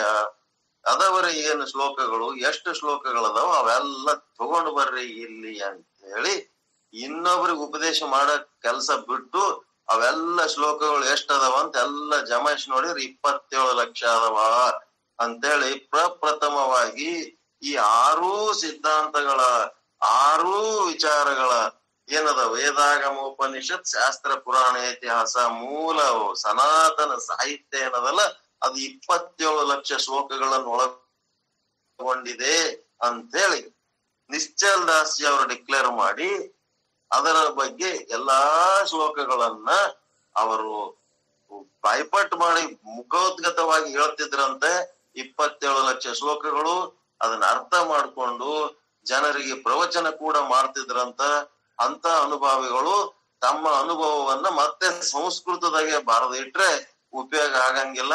ಇದು ಸಂಸ್ಕೃತ ಬರಲಾರದ ಜನರಿಗೂ ಉಪಯೋಗ ಆಗಂಗ ಮಾಡಿದ್ರೆ ಇಬ್ಬರಿಗೆ ಉಪಯೋಗ ಆಗ್ತದೆ. ಸಂಸ್ಕೃತ ಬಲ್ಲವ್ರಿಗೆ, ಸಂಸ್ಕೃತ ಬರಲಾರದವ್ರಿಗೆ ಇಬ್ಬರಿಗೆ ಉಪಯೋಗ ಆಗ್ತದ. ಹಿಂದಿದಾಗ ಸಾಹಿತ್ಯ ಮಾಡಿದ್ರು. ಆದ್ರೂ ಅದು ಮುಂದೆ ಬರುವ ಜನಾಂಗಕ್ಕ ಏನಾಯ್ತು? ಅದು ಅಷ್ಟು ಸರಳ ಅರ್ಥ ಆಗಂತ ಪರಿಸ್ಥಿತಿ ಒಳಗೆ ಇರ್ಲಿಲ್ಲ. ಮತ್ತೆ ಒಂದು ದೀಡ್ನೂರ್ ಎರಡ್ ನೂರು ವರ್ಷಗಳ ಹಿಂದೆ ಪೀತಾಂಬರ್ಜಿ ಅವರು ಬಂದು ಅವ್ರ ವಿಚಾರ ಸಾಗರ ಮತ್ತೆ ವೃತ್ತಿ ಪ್ರಭಾಕರನ್ನ ಎರಡು ಗ್ರಂಥ ರಚನೆ ಮಾಡಿ. ಹೋದ್ರು ಐದ್ನೂರು ವರ್ಷಗಳ ಹಿಂದೆ ಅವರು ನಿಶ್ಚಲ್ ದಾಸ್ಜಿ ಅವರು ಆಮೇಲೆ ಪೀತಾಂಬರ್ಜಿ ಅವರು ಬಂದು ಅದೇ ಗ್ರಂಥಗಳ ಸಾರವನ್ನ ಏನ್ ಮಾಡಿದ್ರು? ಬಾಲಬೋಧೆ ಮತ್ತು ವಿಚಾರ ಚಂದ್ರೋದಯ ಅಂತೇಳಿ ಇನ್ನಷ್ಟು ಸರಳೀಕರಣಗೊಳಿಸಿದ್ರು. ವಿಚಾರ ಬಾಲಬೋಧೆ ಒಳಗೆ ಏನ್ ಅನುಭವ ಅದ? ಅದು ವಿಚಾರ ಚಂದ್ರೋದಯ. ವಿಚಾರ ಚಂದ್ರೋದಯದಾಗ ಏನದ? ಅದು ವಿಚಾರ ಸಾಗರದಾಗ ವಿಚಾರ ಸಾಗರದಾಗ ಏನದ? ಅದು ವೃತ್ತಿ ಪ್ರಭಾಕರದಾಗ ಯಾವುದೇ ಒಂದು ಗ್ರಂಥ ಓದಿದ್ರು ಸಾಕು. ಎಲ್ಲ ಅನುಭವಗಳ ಸಾರ, ಆಧ್ಯಾತ್ಮಿಕ ಅನುಭವದ ಸಾರ ಟೋಟಲ್ ನಿಮಗೆ ಸಿಗ್ತು. ಅಂತ ಒಂದು ಕೆಲಸ ಮಾಡಿದ್ರ ಅವರು. ಇದಕ್ಕೇನಂತಾರ ಪ್ರಕ್ರಿಯಾ ಗ್ರಂಥ. ಅಂದ್ರೆ ಇದು ಇನ್ನೊಬ್ಬರಿಗೆ ಹೇಳಕ್ ಹೋಗಂತದಲ್ಲ ಇದು ಏನ್ ಮಾಡ್ಬೇಕಂದ್ರ ನಿಮ್ಮ ಮೇಲೆ ನೀವೇ ಪ್ರಯೋಗ ಮಾಡ್ಕೊಂಡು ನೀವೇ ನಿಮ್ಮಿಂದ ನಿಮ್ಮಿಂದ ನೀವೇ ಉದ್ಧಾರ ಆಗಂತದ್ದು ನಿಮ್ಮೊಳಗ ನೀವೇ ಹಣಕಾಕೋಬೇಕು ನಿಮ್ಮೊಳಗ ನೀವೇ ಹಣಿಕೆ ಎಂಬೈ ಬಂತಾರ ಅದಕ್ಕ. ನಿಮ್ಮೊಳಗ ನೀವು ಅಂತರಂಗದ ಪ್ರಯಾಣ ಮಾಡಿ ನಿಮ್ಮ ಮೋಕ್ಷದ ಗುರಿಯನ್ನ ತಲುಪಬೇಕಂತೇಳಿ ಈ ರೀತಿ ಅವರು ಮಾಡಿದ್ರು. ಅದು ಮಾಡಿದ್ಮೇಲೆ ಇನ್ನ ಒಂದು ಸೈಡ್ ಇದೇನಾಯ್ತು? ಸನಾತನ ಸಾಹಿತ್ಯ. ನಮ್ಮ ಜನ್ಮ ಎಲ್ಲಿ ನಾವು ಜನ್ಮ ತಗೊಂಡಿವಿ ವೀರಶೈವರು, ಲಿಂಗಾಯತರು ಏನಾಗಿ ಹುಟ್ಟಿವೆಲ್ಲ, ಅದಕ್ಕೆ ನಮಗ ಒಂದು ಸಾಹಿತ್ಯ ಸಿಕ್ಕದ. ಇದು ಕೂಡ ಅಷ್ಟೇ ವೇಟೇಜ್ ಅದ. ಇಲ್ಲಿ ಸಹಿತ ಒಂದು ಸಾಹಿತ್ಯ ಏನದ? ಇಲ್ಲಿನೂ ಅದರಷ್ಟೇ ಪ್ರಮಾಣದ ಅನುಭವ ಇದ್ರೊಳಗದ. ಇಲ್ಲಿ ಏನಪ್ಪಾ ಅಂತಂದ್ರೆ ಶಿವ ಸಾಹಿತ್ಯ, ಶಿವಾಯ ಬ್ರಹ್ಮಣೇ ನಮಃ. ಈ ಒಂದು ಯಾವುದು? ಸನಾತನ ಹಿಂದೂ ಧರ್ಮದೊಳಗ ಯಾವ ವಸ್ತುವನ್ನು ಕುರಿತು ಬ್ರಹ್ಮ ಅಂತಾರೋ ಅದು ಬ್ರಹ್ಮಕ್ಕೆ ಸಂಬಂಧಪಟ್ಟ ಸಾಹಿತ್ಯ. ಬ್ರಹ್ಮ ಅಂದ್ರೆ ದೊಡ್ಡದು, ಶ್ರೇಷ್ಠವಾದದ್ದು ಅಂತ ಒಂದು ವಸ್ತು ಏನದ? ಬ್ರಹ್ಮ. ಈ ಜಗತ್ತಿಗೆ ಸೃಷ್ಟಿ, ಸ್ಥಿತಿ, ಲಯಕ್ಕೆ ಕಾರಣವಾದಂತದ್ದು ಬ್ರಹ್ಮ. ಅಂತ ಬ್ರಹ್ಮಗ ಇವ್ರು ಏನ್ ಮಾಡಿದ್ರು? ಶಿವ ಸಾಹಿತ್ಯ ಮಾಡಿದ್ರು. ಈ ಶಿವ ಸಾಹಿತ್ಯ ಅಂದ್ರೆ ಶಿವಾಯ ಬ್ರಹ್ಮಣೇ ನಮಃ. ಶಿವ ಬೇರೆ ಅಲ್ಲ, ಬ್ರಹ್ಮ ಬೇರೆ ಅಲ್ಲ. ಈ ಸಾಹಿತ್ಯನು ಏನಾಗ್ಯದಪ್ಪ ಅಂತಂದ್ರೆ ಇಲ್ಲಿ ಒಂದು ಅಲ್ಲಿ ಆರ್ ಮುಖ ಷಣ್ಮುಖ ಇದ್ರ ಇಲ್ಲಿ ಇದು ಚತುರ್ಮುಖ ಆಗ್ಬಿಡ್ತದ ಇದು ಚತುರ್ಮುಖ ಆಗ್ಯದ, ಶಿವ ಸಾಹಿತ್ಯ. ಇದನ್ನ ತಿಳ್ಕೋಬೇಕು. ಚತುರ್ವಿಧ ಸಾಹಿತ್ಯ, ಇದೇನಾಗ್ಯದ? ಒಂದು ಶಿವಾಚಾರ್ಯ ಸಾಹಿತ್ಯ ಅಂತ ಮಾಡ್ಯಾರ. ಶಿವಾಚಾರ್ಯ ಸಾಹಿತ್ಯ ಅಂತೇಳಿ ಎಲ್ಲ ಶಿವಾಚಾರ್ಯರು ಐದು ಪಂಚಪೀಠಗಳು, ಅವ್ರ ಅಂಡರ್ನಾಗ ಬರೋವು ಸಾವಿರದ ಎಂಟು ಮಠ ಅಂದ್ರೆ ಐದ್ ಸಾವಿರದ ನಲ್ವತ್ತು ಮಠಗಳು. ಅಲ್ಲಿ ಅಲ್ಲಿ ಅಲ್ಲಿ ಅಲ್ಲಿ ಅಲ್ಲಿ ಅಲ್ಲಿ ಮಹಾತ್ಮರು, ಸಂತರು ಗುರುಗಳು, ಜಗದ್ಗುರುಗಳು, ಏನೇನು ಮಾಡ್ಯಾರ ಪವಾಡಗಳು ಅವೆಲ್ಲ ಶಿವಾಚಾರ್ಯ ಸಾಹಿತ್ಯ ಅಂತ, ಅದು ಒಂದು ಸಾಹಿತ್ಯ, ಅದು ಒಂದು ದೊಡ್ಡ ಸಾಹಿತ್ಯ. ಅದು ಒಂದಾದ್ಮೇಲೆ ನೆಕ್ಸ್ಟ್ ಏನದ? ಇವ್ರೇನು ನಿಜಗುಣ ಶಿವಯೋಗಿಗಳು, ಸರ್ಪಭೂಷಣ ಶಿವಯೋಗಿಗಳು, ಬಾಲಲೀಲಾ ಮಹಾಂತ ಶಿವಯೋಗಿಗಳು, ಮತ್ತೆ ಏನೇನ್ ಶಿವಯೋಗಿಗಳರ, ಇವ್ರದೊಂದು ಸಾಹಿತ್ಯ. ಇದಕ್ಕೇನಂತಾರ ಶಿವಯೋಗಿ ಸಾಹಿತ್ಯ ಶಿವಯೋಗಿ ಸಾಹಿತ್ಯ. ಅದು ಶಿವಾಚಾರ್ಯ ಸಾಹಿತ್ಯ, ಇದು ಶಿವಯೋಗಿ ಸಾಹಿತ್ಯ ಅಂತ. ಇದು ಒಂದು ಸಾಹಿತ್ಯ. ಈ ಶಿವಯೋಗಿ ಸಾಹಿತ್ಯ ಏನದ ಅಂತಂದ್ರೆ, ಈ ಒಂದು ಆ ಇದದಲ್ಲ ಇದು ಸನಾತನ ಏನದಲ್ಲ, ಅದಕ್ಕೆ ಇದು ಅಟ್ಯಾಚ್ಡ್ ಅದ ಅದರದೇ ಒಂದು ಡೆವಲಪ್ಡ್ ವರ್ಷನ್ ಇದು, ಶಿವಯೋಗಿ ಸಾಹಿತ್ಯ.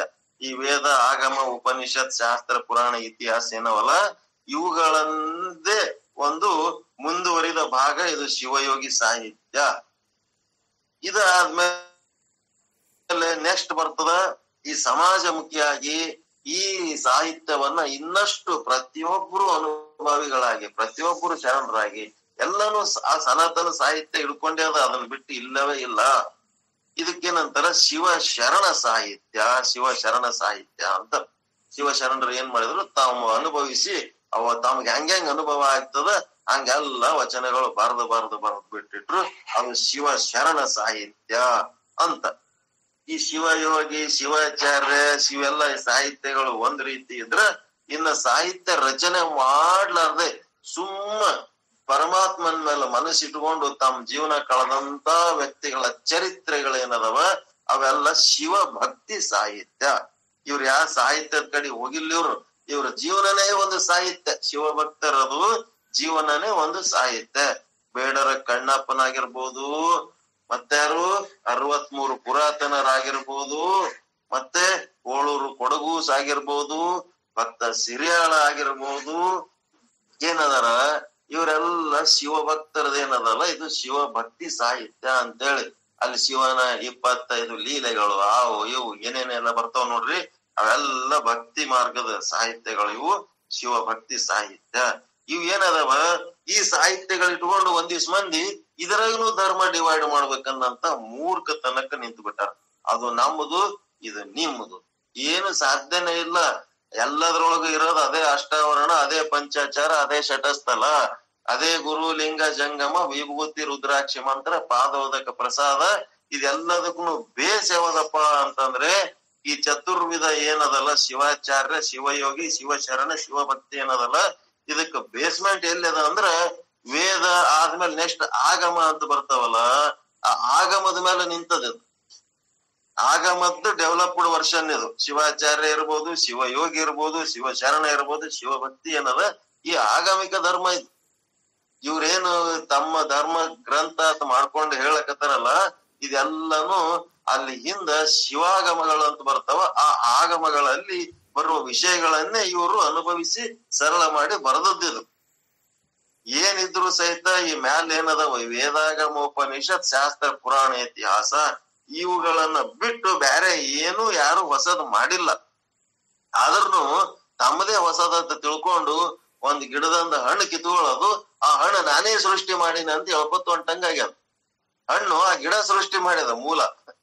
ಆ ಗಿಡ ಬಿಟ್ಟಾರ ನಮ್ಲಿಂದ ಇದಾಗ್ಯದ ಅಂತ ಹೇಳ್ಕೊತ ಹೊಂಟಾರ. ಹಿಂಗೆಲ್ಲ ಆದ್ರ ಆಗಂಗಿಲ್ಲ. ಇದ್ರೊಳಗೆ ಅವು ಏನು ಮೂಲ ಆಗಮಕ್ಕೆ ಸಂಬಂಧಪಟ್ಟಂತ ವಿಚಾರಗಳನ್ನ ಫಿಲ್ಟರ್ ಮಾಡಿ ತೆಗೆದ್ರೆ ಯಾವ ಸಾಹಿತ್ಯಗಳು ಉಳಿಯಂಗಿಲ್ಲ. ಎಲ್ಲ ಅಷ್ಟು ಆಗಮಕ್ಕೆ ಸಂಬಂಧಪಟ್ಟವೇ ಅದಾವ. ಗುರು, ಲಿಂಗ, ಜಂಗಮ, ವಿಭೂತಿ, ರುದ್ರಾಕ್ಷಿ ಮಂತ್ರ, ಪಾದೋದಕ, ಪ್ರಸಾದ, ಲಿಂಗಾಚಾರ, ಶಿವಾಚಾರ, ಗಣಾಚಾರ ವೃತ್ತಾಚಾರ ಹ? ಮತ್ತೆ? ಲಿಂಗಾಚಾರ, ಸದಾಚಾರ, ಶಿವಾಚಾರ, ಗಣಾಚಾರ ವೃತ್ತಾಚಾರ ಇವು ಪಂಚ ಆಚಾರಗಳು ಭಕ್ತ, ಮಹೇಶ, ಪ್ರಸಾದಿ, ಪ್ರಾಣಲಿಂಗಿ, ಶರಣ, ಐಕ್ಯ ಇವು ಶಟಸ್ಥಲಗಳು ಇವು ಇವು ತತ್ವಗಳನ್ನು ಬಿಟ್ಟು ನಿಮ್ ಸಾಹಿತ್ಯ ಹೇಳ್ರಿ. ಈ ತತ್ವಗಳು ಎಲ್ಲಿ ಅದಾವ ಅಂದ್ರ ಆಗಮದವ ಮತ್ತ ಆಗಮಗಳು ಕೂಡ ಏನ್ ಹೇಳ್ತಾವ? ಇದು ಆಗಮದೊಳಗ್ ಬಂದವಂದ್ರು ಇವು ಮೂಲದಲ್ಲಿ, ಆಗಮದಲ್ಲೇ ಮೂಲ ಇಲ್ಲ ಇವು, ಇವುದ್ರ ಮೂಲ ಇಂದ ವೇದದೊಳಗನು ಅದಾವ ಅಂತ ಹೇಳ್ತಾರ. ವೇದಗಳಿಂದ ಎಲ್ಲ ಬಂದಿದ್ದು, ವೇದದ್ದೇ ಡೆವಲಪ್ಮೆಂಟ್. ತಿಳಿಲಾರ್ದಕ್ಕೆ ಆಗಮಗಳದು ಆಗಮ ತಿಳಿಲಾರ್ದಂಗಾಗಿದ್ದು ಉಪನಿಷತ್ಗಳದು ಉಪನಿಷತ್ ತಿಳಿಲಾರ್ದಂಗಾಗಿದ್ದಕ್ಕೆ ಶಾಸ್ತ್ರಗಳದು ಶಾಸ್ತ್ರ ತಿಳಿಲಾರ್ದಂಗಾಗಿ ಪುರಾಣಗಳದು ಪುರಾಣ ತಿಳಿಲಾರ್ದಂಗಾಗಿದ್ದಕ್ಕೆ ಇತಿಹಾಸಗಳು ಹೇಳ್ಕೋತ, ಅದ್ರೊಳಗ್ ತತ್ವಜ್ಞಾನ ಹೇಳ್ಕೊತ್ ಬಂದರ. ಹಿಂಗಾಗಿ ನಥಿಂಗ್ ನ್ಯೂ, ನಾನ್ ಮಾಡಿದ್ರು ಯಾವುದು ಹೊಸದಿಲ್ಲ. ಪೀತಾಂಬರದಿ ನಿಶ್ಚಲ್ ದಾಸಿ ಮಾಡಿದ್ರು ಯಾವುದು ಹೊಸದಿಲ್ಲ. ಇಲ್ಲೇನ್ ಶಿವಾಚಾರ್ಯ, ಶಿವಯೋಗಿ, ಶಿವಶರಣ, ಶಿವಭಕ್ತರ, ಇವ್ರದ್ದು ಏನು ಹೊಸದಿಲ್ಲ. ಎಲ್ಲರದು ಫೌಂಡೇಶನ್ ಇಲ್ಲಿ ಸನಾತನ ಸಾಹಿತ್ಯದೊಳಗೆ ಆದ ಇದನ್ನ ಎಲ್ಲಿ ನಿಂತ ಹೇಳಂದ್ರೆ ಹೇಳ್ತೀವಿ ಕಂಠಘೋಷವಾಗಿ ಎಲ್ಲ ಸನಾತನ ಸಾಹಿತ್ಯ ಹಿಂದೂ ಧರ್ಮದ ಬೇಸ್ಮೆಂಟೇ ಇದು. ಮುಂದುವರೆದಕ್ಕೆ ನಾ ಹಿಂದೂ ಅಲ್ಲ ಅಂತಂದ್ರೆ ಹಿಂದೂ ಇದ್ದು ನೀ ಮುಂದೆ ಏನಾರ ಮಾಡ್ಕೋ. ಹಿಂದೂ ಅಲ್ಲ ಅಂತಂದ್ರ ಆ ಗಿಡದಲಿಂತ ಬಂದದ ನನಗ್ ಸಂಬಂಧ ಇಲ್ಲ ಅಂತಂದ್ರ ನಮಗ್ ಹಡದ ತಂದೆ ತಾಯಿಗೆ ನಾವ್ ಸಂಬಂಧ ಇಲ್ಲ, ನಾವೇ ಹುಟ್ಟಿವಿ ಅನ್ನಂಗ ಆಗ್ತು. ಹಂಗ ಆಗಕ್ಕೆ ಸಾಧ್ಯನೇ ಇಲ್ಲ. ಈ ದೇಶದ ಪ್ರತಿಯೊಂದು ಕಣ, ಪ್ರತಿಯೊಂದು ಮಣ್ಣು, ಪ್ರತಿಯೊಂದು ತತ್ವ ಎಲ್ಲ ಓಟು ಹಿಂದೂ ಧರ್ಮದ ಮೂಲ ಅನುಭವ. ಹಿಂದೂ ಧರ್ಮ ಅಂದ್ರೆ ಈಗೇನ್ ಗುದ್ದಾಡ್ಲಕತ್ತಾರ ರೋಡ್ ಮೇಲ, ಅದು ಹಿಂದೂ ಧರ್ಮ ಅಲ್ಲದು. ಅದು ಇನ್ನ ಒಂದು ಧರ್ಮದ ಸಲುವಾಗಿ ತಮ್ಮ ರಕ್ಷಣೆ ಮಾಡ್ಕೊಳಕ ಗುದ್ದಾಡೋದಕ್ ಮಾಡಿದ್ದು. ಮೂಲ ಹಿಂದೂ ಧರ್ಮ ಅಂದ್ರೆ ಯಾವದಪ್ಪ ಅಂದ್ರೆ ಆದಿ ಕಾಲದ ಪ್ರಾಚೀನ ಕಾಲದ ಋಷಿ ಮುನಿಗಳು ಸತ್ಯಕ್ಕಾಗಿ ತಮ್ಮ ಜೀವನವನ್ನ ತ್ಯಾಗ ಮಾಡಿ ಏನ್ ಸತ್ಯದ ಅನುಭವ ಮಾಡಿಕೊಂಡು ಈ ಸಾಹಿತ್ಯವನ್ನ ಏನು ಓದಿ ಬರೆದು ಮತ್ತೇನ್ ಮಾಡ್ಯಾರ? ರಚನೆ ಮಾಡಿ ಶ್ರುತಿಗಳಂತ ಏನ್ ಹೇಳಿದ್ನೆಲ್ಲ, ಆ ರೀತಿ ಸತ್ಯವಾಣಿಗಳನ್ನ ಕೇಳಿ ಅನುಭವಿಸಿ ಮಾಡಿದ್ದು ಅದು ಹಿಂದೂ ಸನಾತನ ಧರ್ಮ, ಸನಾತನ ಸಾಹಿತ್ಯ. ಈಗ ಏನ್ ರೋಡ್ ಮೇಲೆ ಗುದ್ದಾಡ್ತಾರ? ಅವ್ರಿಗೆ ಇದ್ರೊಳಗೆ ಸಂಬಂಧಪಟ್ಟು ಯಾವರೇ ಒಂದಿಷ್ಟು ಶ್ಲೋಕಗಳು ನಿಮ್ಗ್ ವೇದ ಬರ್ತವೇನು, ನಿಮಗ್ ಆಗಮ ಬರ್ತವೇನು, ಉಪನಿಷತ್ ಬರ್ತವೇನು, ಇದ್ರೊಳಗೆ ಏನಾರ ನಿಮ್ಗೆ ಏನಾರ ಸಂಬಂಧಪಟ್ಟಂಗ ಅದಿರೇನು ಅಂತ ಕೇಳ್ರಿ. ಇವ್ ಯಾವ ಬೇಕಾಗಿಲ್ಲ ಗುದ್ದಾಡೋದ್ ಬೇಕಾಗಿಲ್ಲ ಅಷ್ಟೇ ಅದು ಎದಕ್ಕ ತಮ್ಮ ಒಂದು ಅಸ್ತಿತ್ವ ಉಳಿಸ್ಕೊಳ್ಳಕ್. ಅದ್ರೊಳಗ್ನು ಒಂದ್ ಅರ್ಥ ಅದ. ಅಸ್ತಿತ್ವ ಕಳ್ಕೊಂಡ ಮೇಲೆ ಯಾರ್ ಕೇಳ್ತಾರ? ಯಾವ ಧರ್ಮ ಇದ್ರೇನು? ಯಾವ ಶಾಸ್ತ್ರ ಇದ್ರೇನು? ಅಸ್ತಿತ್ವ ಉಳಿಸ್ಕೊಳಕ ಒಂದು ಹೋರಾಟ. ಅದನ್ನು ಅದ್ರೊಳಗ್ನು ಒಂದ್ ಅರ್ಥ ಅದ, ಅದೇನ್ ಅರ್ಥ ಇಲ್ಲದಲ್ಲ ಆದ್ರೆ ಅದ್ರ ಜೊತೆಗೆ ಏನಿರ್ಬೇಕು? ಪ್ರತಿಯೊಬ್ಬರಿಗೆ ಈ ದೇಶದೊಳಗಿರುವ ಪ್ರತಿಯೊಬ್ಬ ಪ್ರಜೆಗೂ ಈ ಶಾಸ್ತ್ರದ ಬಗ್ಗೆ ಜ್ಞಾನ ಇರಬೇಕು. ಈ ಶಾಸ್ತ್ರದ ಬಗ್ಗೆ ಜ್ಞಾನ ಇರ್ಲಾರ್ದಕ್ಕೆ ಮಕರಂದ ಕಳೆದುಕೊಂಡ ಕಾರಣ ಏನಾಗ್ಯಾವ? ಹೂವಗಳ ಒಳಗ ಮಕರಂದ ಇಲ್ಲ ಅಂದ್ರೆ ಎಲ್ಲಿ ಹಾಕ್ತಾರ ಇದೆಲ್ಲ ಮಕರಂದ ಇದು. ಒಬ್ಬ ಹಿಂದೂ ಅನಿಸ್ಕೋಬೇಕಾದ್ರ ಅದ್ರೊಳಗ ವೇದ, ಆಗಮ, ಉಪನಿಷತ್, ಶಾಸ್ತ್ರ, ಪುರಾಣ, ಇತಿಹಾಸ ಎನ್ನುವ ಈ ಶಾಸ್ತ್ರಗಳ ಮಕರಂದ ಅವನೊಳಗ ಇರಬೇಕು. ಒಬ್ಬ ಲಿಂಗಾಯತ, ಒಬ್ಬ ವೀರಶೈವ ಅನಿಸ್ಕೋಬೇಕಾದ್ರೆ ಅವ ಶಿವಾಚಾರ್ಯ, ಶಿವಯೋಗಿ, ಶಿವಶರಣ, ಶಿವಭಕ್ತಿ ಸಾಹಿತ್ಯದ ಮಕರಂದ ಅವನೊಳಗೆ ಇರಬೇಕು. ಮಕರಂದ ಇಲ್ಲದ ನಿರ್ಗಂಧ ಕುಸುಮಗಳು ಏನಾಗ್ತವ? ಎಲ್ಲಿ ಹೋಗಿ ಸೇರ್ತವವು ಒಂದ್ ಹೂವ ಇರ್ತದ, ಅದು ತಗೊಂಡು ಮೂಗಿಗೆ ಹಚ್ಕೋತೀರಿ ಅದಕ್ ವಾಸನೆ ಬರ್ಲಿಲ್ಲ ಅಂದ್ರೆ ಏನ್ ಮಾಡ್ತೀರಿ ಅದನ್ನ? ತಿಪ್ಪಿಗೆ ಅಷ್ಟೇ. ಮಕರಂದ ಇಲ್ಲದ ಹೂಗಳಾಗಿದ್ದಕ್ಕೆ ಇಷ್ಟೆಲ್ಲ ಸಮಸ್ಯೆ ಆಗ್ಲಿಕ್ಕತ್ತದ ಒಳಗ ಆಧ್ಯಾತ್ಮಿಕ ಸಾಧನೆಯ ಬಲ ಇತ್ತಂತಂದ್ರೆ ಇವ್ರ ಕಡಿಂದ ಏನ್ ಬೇಕಾದ ಪವಾಡಗಳು ಮಾಡ್ಲಿಕ್ ಸಾಧ್ಯ ಅದ? ಏನ್ ಬೇಕಾದ ಸಾಧನೆ ಮಾಡ್ಲಿಕ್ ಸಾಧ್ಯ ಅದ? ಅಂತ ತಪಸ್ಸಿನ ಬಲ ಎಲ್ಲ ಕಳ್ಕೊಂಡು ಸುಮ್ಮನೆ ಧರ್ಮದ ಹೆಸರಿನೊಳಗ ಗುದ್ದಾಡ್ಲಕತ್ತಾರಲ್ಲ. ಆದ್ರೆ ಯಾವ ಧರ್ಮದವರು ಸಕ್ಸಸ್ ಆಗಂಗಿಲ್ಲ? ಅವರವರ ಧರ್ಮ ಗ್ರಂಥಗಳ ತತ್ವಗಳನ್ನು ಅವರವರ ಜೀವನದೊಳಗೆ ಅಳವಡಿಸಿಕೊಂಡು ಅದೇ ತಾವಾಗಿ ಬದುಕು ಮಾಡಿದಾಗ ಮಾತ್ರ ಅವರೊಳಗ ಒಂದು ಮಕರಂದ ಬರ್ತದ. ಆಗ ಅದಕ್ಕ ಒಂದು ಬೆಲೆ ಬರ್ತದ ಈ ಜಗತ್ತಿನೊಳಗ. ಹ್ಮ್? ಈ ರೀತಿ ಇವನ್ನೆಲ್ಲ ತಿಳ್ಕೊಬೇಕು.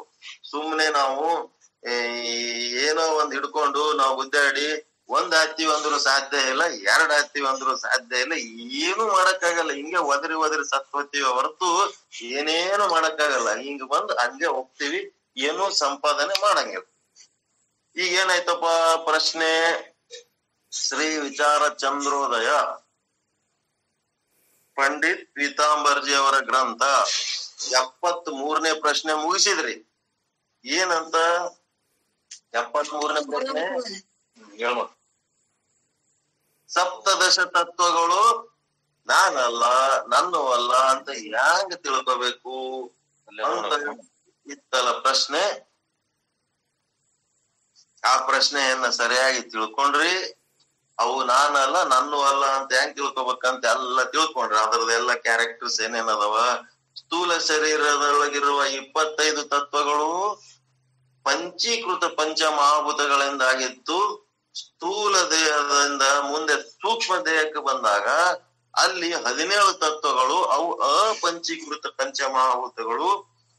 ಸ್ಥೂಲ ದೇಹದಲ್ಲಿರುವ ತತ್ವಗಳು ಕಣ್ಣಿಗೆ ಕಾಣಿಸ್ತವ, ಕೈಯಿಂದ ಮುಟ್ಟಕ್ಕೆ ಬರ್ತವ, ಸೂಕ್ಷ್ಮ ದೇಹದೊಳಗಿರವು. ಇವು ಕಣ್ಣಿಗೆ ಕಾಣಂಗಿಲ್ಲ, ಮತ್ತೆ ಕೈಯಿಂದ ಮುಟ್ಲಿಕ್ಕೆ ಆಗಲ್ಲ ಈ ಸೂಕ್ಷ್ಮ ದೇಹಕ್ಕ ಇನ್ನ ಒಂದು ಹೆಸರದ. ಏನ್ ಹೆಸರದು?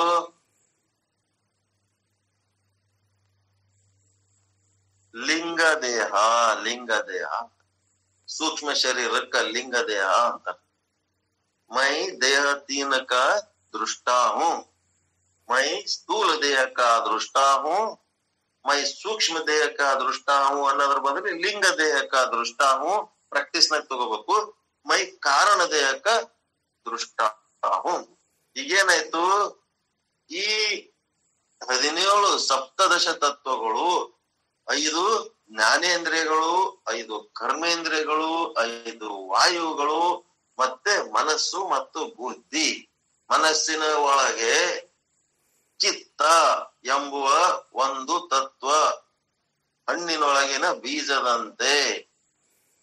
ಒಳಗದ ಅದೇ ರೀತಿ ಬುದ್ಧಿ ಒಳಗ ಅಹಂಕಾರ ಅನ್ನೋದು ಒಂದು ತತ್ವ. ಒಳಗೆ ಇದೆ.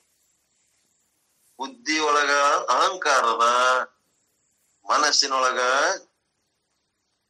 ಚಿತ್ತ ಅದ ಮನಸ್ಸು ಸಂಕಲ್ಪ ವಿಕಲ್ಪ ಮಾಡ್ತದ, ಚಿತ್ತ ನೆನಪಿಟ್ಕೊತದ, ಬುದ್ಧಿ ನಿರ್ಧಾರ ಮಾಡ್ತದ, ಅಹಂಕಾರ ಅಭಿಮಾನ ಪಡ್ತದ, ತಾ, ನಾನು ನನ್ನದ ಅಂತ ಹಿಂಗೆಲ್ಲ ಹೇಳಾಯ್ತು, ಎಲ್ಲ ಕೇಳಾಯ್ತು. ಏನಿದ್ರು ಸಹಿತ ನಾನು ಇವುಗಳನ್ನು ಅರಿಯುವ ಆತ್ಮ ಚೈತನ್ಯ, ಸಾಕ್ಷಿ ಚೈತನ್ಯ ವಿಟ್ನೆಸ್ಸು ವಿಟ್ನೆಸ್ ವಿಟ್ನೆಸ್ ಅಂತಾರ. ಅವೆಲ್ಲ ಏನವ? ನನ್ನಿಂದ ಅರಿಸಿಕೊಳ್ಳುವ ಅನಾತ್ಮ ಜಡ ವಸ್ತುಗಳು. ಅವು ಅನಾತ್ಮಗಳು ಅಂತೇಳಿ ಹಿಂಗೆಲ್ಲ ಸ್ಟಡಿ ಮಾಡಿದ್ರಿ. ಸ್ಟಡಿ ಮಾಡಿದ್ಮೇಲೆ ಮುಂದಿನ ವಾಟ್ ಈಸ್ ನೆಕ್ಸ್ಟ್ ಸ್ಟೆಪ್ ನೀವು ಇಪ್ಪತ್ತೈದು ತತ್ವಗಳು ನಾನಲ್ಲ, ನನ್ನವು ಅಲ್ಲ ಅಂತೇಳಿ ನೀವು ಸ್ಥೂಲ ಶರೀರದಲ್ಲಿ ಏನ್ ಅಧ್ಯಯನ ಮಾಡಿದ್ರಲ್ಲ ಅದಾದ್ಮೇಲೆ ಏನ್ ಮಾಡಿದ್ರಿ? ನೆಕ್ಸ್ಟ್ ಸ್ಟೆಪ್ ಏನ್ ತಗೊಂಡಿದ್ರು ಪೀತಾಂಬರ್ಜಿ? ಇಪ್ಪತ್ತೈದು ತತ್ವಗಳು ನಾನಲ್ಲ, ನನ್ನವು ಅಲ್ಲ ಅಂತ ಅಂದ್ಮೇಲೆ ಅದರ ನೆಕ್ಸ್ಟ್ ಪ್ರಶ್ನೆ ಏನ್ ಹೇಳಿದ್ರು? ಧರ್ಮಗಳು ನಾನಲ್ಲ, ನನ್ನವಲ್ಲ. ಈ ರೀತಿ ಇಪ್ಪತ್ತೈದು ತತ್ವಗಳು ನಾನಲ್ಲ, ನನ್ನವು ಅಲ್ಲ ಅಂತ ಗೊತ್ತಾದ್ಮೇಲೆ ಏನು ಉಪಯೋಗ ಆಯ್ತಪ್ಪ ನಿಮಗ? ವಾಟ್ ಈಸ್ ದಿ ಯೂಸ್ ಅಂತ ಕೇಳಿದಾಗ, ಈ ಸ್ಥೂಲ ಶರೀರಕ್ಕೆ ಒಂದು ಏಳು ಧರ್ಮಗಳದವ್ರಿ. ಆ ಧರ್ಮಗಳು ನಾನಲ್ಲ, ನನ್ನು ಅಲ್ಲ ಅಂತೇಳಿ ಅರ್ಥ ಆಯ್ತು. ಏನವು ಏಳು ಧರ್ಮ ಅಂದ್ರೆ? ನಾಮ, ಜಾತಿ, ಆಶ್ರಮ, ವರ್ಣ, ಸಂಬಂಧ, ಪರಿಮಾಣ ಅಂತಂದ್ರೆ ರೂಪ. ದಪ್ಪ, ತೆಳ್ಳಗ, ಗುಂಡಕ, ಸೊಟ್ಟಗ ಎತ್ತರ ಗಿಡ್ಡಕ ರೂಪ. ಮತ್ತೆ ಜನನ ಮರಣ, ಜನ್ಮ. ಒಂದನೇದ್ದು ನಾಮ, ಹೆಸರು. ಅದಲ್ರಿ? ಸ್ಥೂಲ ಶರೀರಕ್ಕೆ ಕೊಟ್ಟ ಹೆಸರು ಅದು ನಾನಲ್ಲ, ನನ್ನದಲ್ಲ. ಅದಕ್ಕಿರೋ ಜಾತಿ ಅಂತಂದ್ರೆ ಎಂಬತ್ನಾಲ್ಕು ಲಕ್ಷ ಜೀವರಾಶಿಗಳ ಪೈಕಿ ದೇವ ನಿರ್ಮಿತ ಜಾತಿ ಅದು, ಪ್ರಕೃತಿಕ ಜಾತಿ. ಎಂಬತ್ನಾಲ್ಕು ಲಕ್ಷ ಜೀವರಾಶಿಗಳ ಪೈಕಿ ಯಾವ ಜನ್ಮ ತಗೊಂಡು ಬಂದ್ರು ಅದು ಶರೀರದ ಧರ್ಮವೇ ಹೊರತು ಆತ್ಮದ ಧರ್ಮವಲ್ಲ. ಮುಂದೆ ಆಶ್ರಮ. ಏನ್ ಆಶ್ರಮ? ಬ್ರಹ್ಮಚರ್ಯ, ಗೃಹಸ್ಥ, ವಾನಪ್ರಸ್ಥ, ಸನ್ಯಾಸಿ ಆಶ್ರಮ, ಇವು ನಾನಲ್ಲ. ನೆಕ್ಸ್ಟ್ ವರ್ಣಗಳು, ಬ್ರಾಹ್ಮಣ, ಕ್ಷತ್ರಿಯ, ವೈಶ್ಯ, ಶೂದ್ರ, ಇವು ನಮ್ಮದಲ್ಲ, ಇವು ಶರೀರದ ಧರ್ಮಗಳೇ ಹೊರತು ಆತ್ಮದ ಧರ್ಮಗಳಲ್ಲ. ಮತ್ತೆ ಸಂಬಂಧಗಳು, ತಂದೆ, ಮಗ, ತಾಯಿ, ಮಗಳು, ಅತ್ತೆ ಸೊಸೆ ಅಣ್ಣ, ತಮ್ಮ ಈ ಸಂಬಂಧಗಳು ಏನದವು? ಇವೆಲ್ಲ ಶರೀರದ ಧರ್ಮಗಳೇ ಹೊರತು ಆತ್ಮಕ್ಕೆ ಸಂಬಂಧ ಇಲ್ಲ. ಮತ್ತೆ ಪರಿಮಾಣ ಅಂದ್ರ ರೂಪ. ತೆಳ್ಳಗ, ದಪ್ಪ ಎತ್ತರ ಗಿಡ್ಡಕ, ಗುಂಡಕ, ಸೊಟ್ಟಗೆ, ಒಟ್ಟ ರೂಪ, ಪರಿಮಾಣ. ಮತ್ತೆ ಬಣ್ಣನು ಇದ್ರಾಗೆ ಬರ್ತವ. ವರ್ಣದಲ್ಲಿ ಬಣ್ಣನು ತಗೋಬಹುದು. ವರ್ಣ ಅಂತಂದ್ರ ಚಾತುರ್ವರ್ಣನು ಬಂತು, ಇಲ್ಲಿ ಬಣ್ಣನು ಹಾಕ್ಬೋದು ನೀವು. ಎರಡು ರೀತಿ ಸೇರ್ಸ್ಯಾರ ಅಲ್ಲಿ ಇಲ್ಲಿ ಪರಿಮಾಣದಾಗ ರೂಪ ಹಾಕ್ಬೇಕು. ಮತ್ತೆ ಜನ್ಮ ಅಂತಂದ್ ಜನನ ಮರಣ. ಈ ರೀತಿ ಏಳು ಧರ್ಮಗಳು, ಸ್ಥೂಲ ಶರೀರದ ಏಳು ಧರ್ಮಗಳು ಏನಂತ? ಅವು ಆತ್ಮನಿಗೆ ಸಂಬಂಧ ಇಲ್ಲ. ನಾನು ಸಾಕ್ಷಿ ಚೈತನ್ಯ, ಅವು ನನ್ನ ದೃಶ್ಯಗಳು, ನಾನು ದೃಷ್ಟ, ಅವು ಅನಾತ್ಮಗಳು, ನಾನು ಆತ್ಮ ಅಂತ ಸ್ಥೂಲ ಶರೀರದ ಹೆಂಗ್ ತಿಳ್ಕೊಂಡಿರಲ್ಲ? ಅದೇ ರೀತಿ ಲಿಂಗ ದೇಹ ಅಂತ ಏನದಲ್ಲ, ಸೂಕ್ಷ್ಮ ದೇಹ. ಅದಕ್ ಸಂಬಂಧಪಟ್ಟಂತ ಪ್ರಶ್ನೆ, ಸೂಕ್ಷ್ಮ ದೇಹದ ಸಪ್ತದಶ ತತ್ವಗಳು ನಾನಲ್ಲ ಮತ್ತು ಅವು ನನ್ನವೂ ಅಲ್ಲ ಎಂದು ಹೇಳುವುದರಿಂದ ಏನು ನಿಶ್ಚಯ ಮಾಡಿದಂತಾಯ್ತು? ಇಲ್ಲಿ ತನಕ ನೀವು ಎಪ್ಪತ್ ಮೂರು ಪ್ರಶ್ನೆ ಮುಗಿಸಿದ್ರಿ. ಈಗ ಎಪ್ಪತ್ ನಾಲ್ಕನೇ ಪ್ರಶ್ನೆ, ಮೂರನೇ ಕಲ. ಇಲ್ಲೇನಾಯ್ತು? ನಾನು ಅಲ್ಲ. ಹದಿನೇಳು ತತ್ವಗಳು ಉದ್ದಕ್ಕೆ ಪಟ್ಟಿ ಮಾಡಿ ಓದಿದ್ರಿ ಬರ್ತದ್ರಿ ಹೇಳಿದ್ರಿ, ಕೇಳಿದ್ರಿ, ಎಲ್ಲ ಓಷ್ಟು ಮಾಡಿದ ಮೇಲೆ ಏನು ಪ್ರಯೋಜನ ಆಯ್ತಪ್ಪ? ಏನು ನಿರ್ಣಯ ಆಯ್ತು ಅಂತಂದ್ರೆ, ಏನು ನಿರ್ಣಯ ಆಗ್ತದ ಅಂದ್ರೆ ಈ ಸ್ಥೂಲ ದೇಹಕ್ಕ ಎಷ್ಟು ಧರ್ಮಗಳದಾವ್ರಿ? ಏಳು ಧರ್ಮಗಳು. ಸಪ್ತ ಧರ್ಮಗಳು. ಏಳು. ಅದೇ ರೀತಿ ಈ ಲಿಂಗ ದೇಹಕ್ಕೆ ಎಷ್ಟು ಧರ್ಮ ಅದಾವ? ಮುಂದೆ ಹೇಳ್ಬೇಕು. ನೀವ್ ಹೇಳಿಲ್ಲ ನಾವ್ ಕೇಳಿಲ್ಲ. ನಮ್ಗೆ ಕೇಳಿದ್ರೆ ಹೆಂಗ್ ಹೇಳಮ್ಮ? ಅಲ್ಲಿ ಏಳು ಧರ್ಮ ಹೆಂಗ ಅದಾವ? ಇಲ್ಲಿ ನಾಲ್ಕು ಧರ್ಮಗಳದಾವ. ಲಿಂಗ ದೇಹದ ಧರ್ಮಗಳು ನಾಲ್ಕು, ಚತುರ್ವಿಧ ಧರ್ಮಗಳು. ಲಿಂಗ ದೇಹ ಅಂತಂದ್ರೆ ಸೂಕ್ಷ್ಮ ಶರೀರ, ಮತ್ತಿನ್ನೇನಿಲ್ಲ. ಲಿಂಗ. ಏನದ ಲಿಂಗ ಅಂದ್ರೆ? ವಾಟ್ ಈಸ್ ಲಿಂಗ? ಲಿಂಗ ಅಂತಂದ್ರೆ ಒಂದು ಕೊಂಡಿ. ಜೀವಾತ್ಮ ಪರಮಾತ್ಮರ ಮಧ್ಯೆ ಒಂದು ಕೊಂಡಿ ಅದು ಏನ್ರಿ? ಒಂದು ಜೀವಾತ್ಮ ಪರಮಾತ್ಮರ ಮಧ್ಯದಲ್ಲಿ ಒಂದು ಕೊಂಡಿ ಇದ್ದಂಗ ಅದಷ್ಟೇ ಅದಕ್ಕ ಇದಕ್ಕ ಜಾಯಿಂಟ್ ಮಾಡ್ತದ. ಅದಕ್ಕೆ ಅಂತೀರಿ? ಕೊಂಡಿಗೆ ಅಂತೀರಿ? ಇಂಗ್ಲಿಷ್ ನಾಗ ಲಿಂಕ್ ಲಿಂಕ್ ಅಂತೀರಿ ಲಿಂಕ್ ಅಂದ್ರೇನು ಪರಮಾತ್ಮ ಜೀವಾತ್ಮರನ್ನ ಒಟ್ಟುಗೂಡಿಸುವ ಒಂದು ಲಿಂಕ್ ಅದಷ್ಟೇ ಲಿಂಕ್ ಕಳಿಸ್ರಿ ಲಿಂಕ್ ಕಳಿಸ್ರಿ ಅಂತೀರಿ ನೋಡ್ರಿ. ಮುಂಜಾನೆ ತಡ ಆಯ್ತಂದ್ರ. ನಮಗೂ, ನಿಮಗೂ ಸಂಪರ್ಕ ಸಾಧಿಸುವುದಕ್ಕೆ ಒಂದು ಲಿಂಕ್ ಹೆಂಗದು ಅದೇ ರೀತಿ ಜೀವಾತ್ಮ ಪರಮಾತ್ಮರ ಮಧ್ಯೆ ಏನ್ ಮಾಡ್ತದ? ಲಿಂಕ್.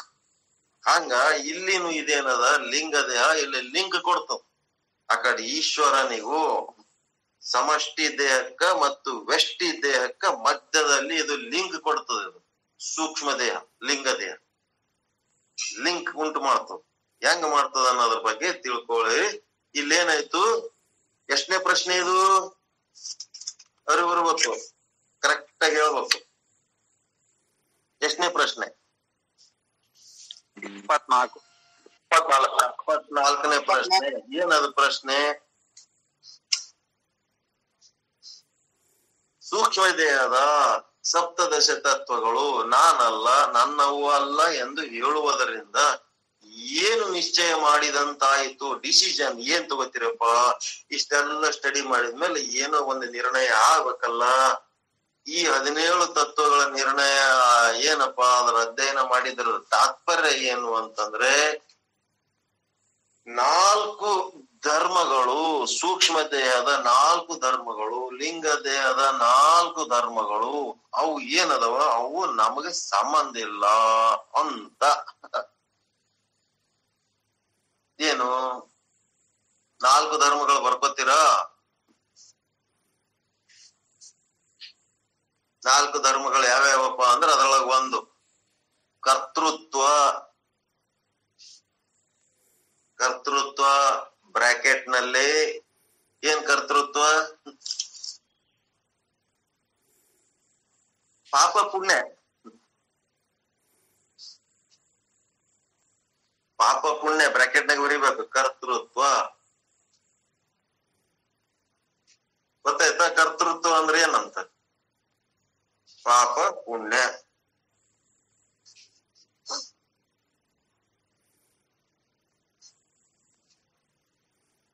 ಕರ್ತೃತ್ವ ಏನಂತ ಅಂದ್ರೆ ಪಾಪ ಪುಣ್ಯ.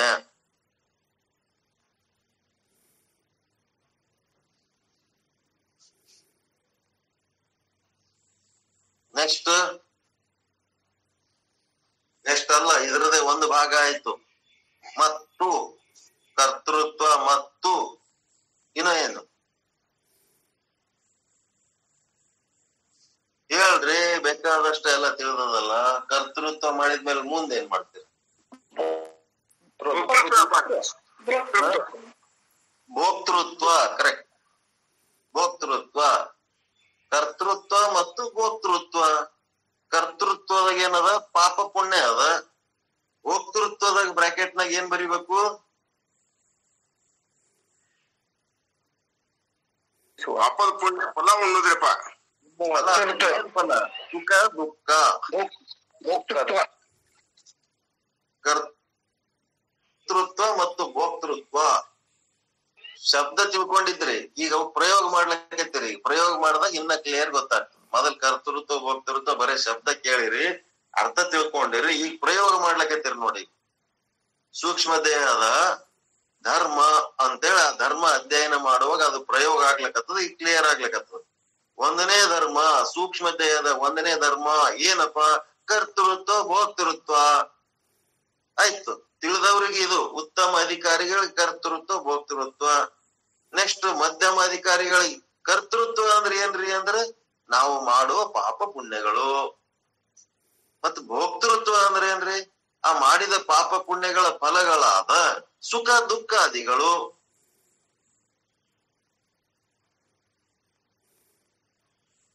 ಸುಖ ದುಃಖಗಳು.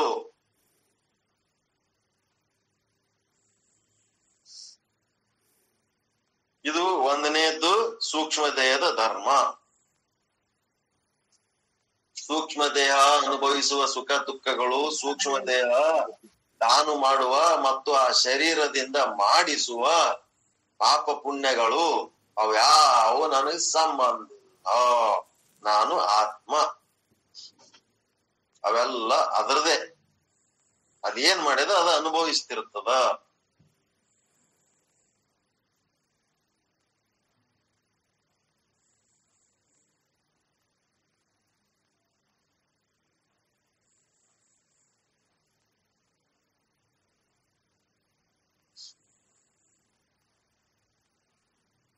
ಓಕೆನಾ ನೆಕ್ಸ್ಟ್ ನೆಕ್ಸ್ಟ್ ಏನ್ ಮಾಡ್ತದ ಇಹಲೋಕ ಪರಲೋಕಗಳಲ್ಲಿ ಗಮನಾಗಮನ. ಎರಡನೇ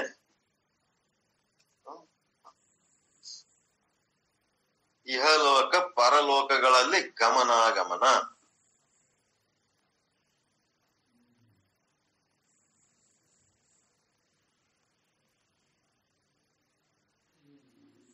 ಏನ್ ಮಾಡ್ತೀರಿ? ಈ ಮನುಷ್ಯರಾಗಿ ಹುಟ್ಟಿರಿ. ಹುಟ್ಟಿ ಮೇಲೆ ಏನ್ ಮಾಡಿದ್ರಿ ಒಂದಿಟ್ಟು ಕರ್ತೃತ್ವ ಮಾಡಿರಿ. ಕರ್ತೃತ್ವ ಮಾಡಿ ಏನ್ ಮಾಡ್ತೀರಿ? ಆಯುಷ್ಯ ತೀರ್ತದ ಹೋಗ್ತೀರಿ. ಹೋದ್ಮೇಲೆ ಏನ್ ಮಾಡ್ತೀರಿ ಹಾಸ್ಕೊಂಡೋಗಿ ಏನ್ ಮಾಡ್ಲಿ ಎಷ್ಟಾಗೈತಿ ಇದು?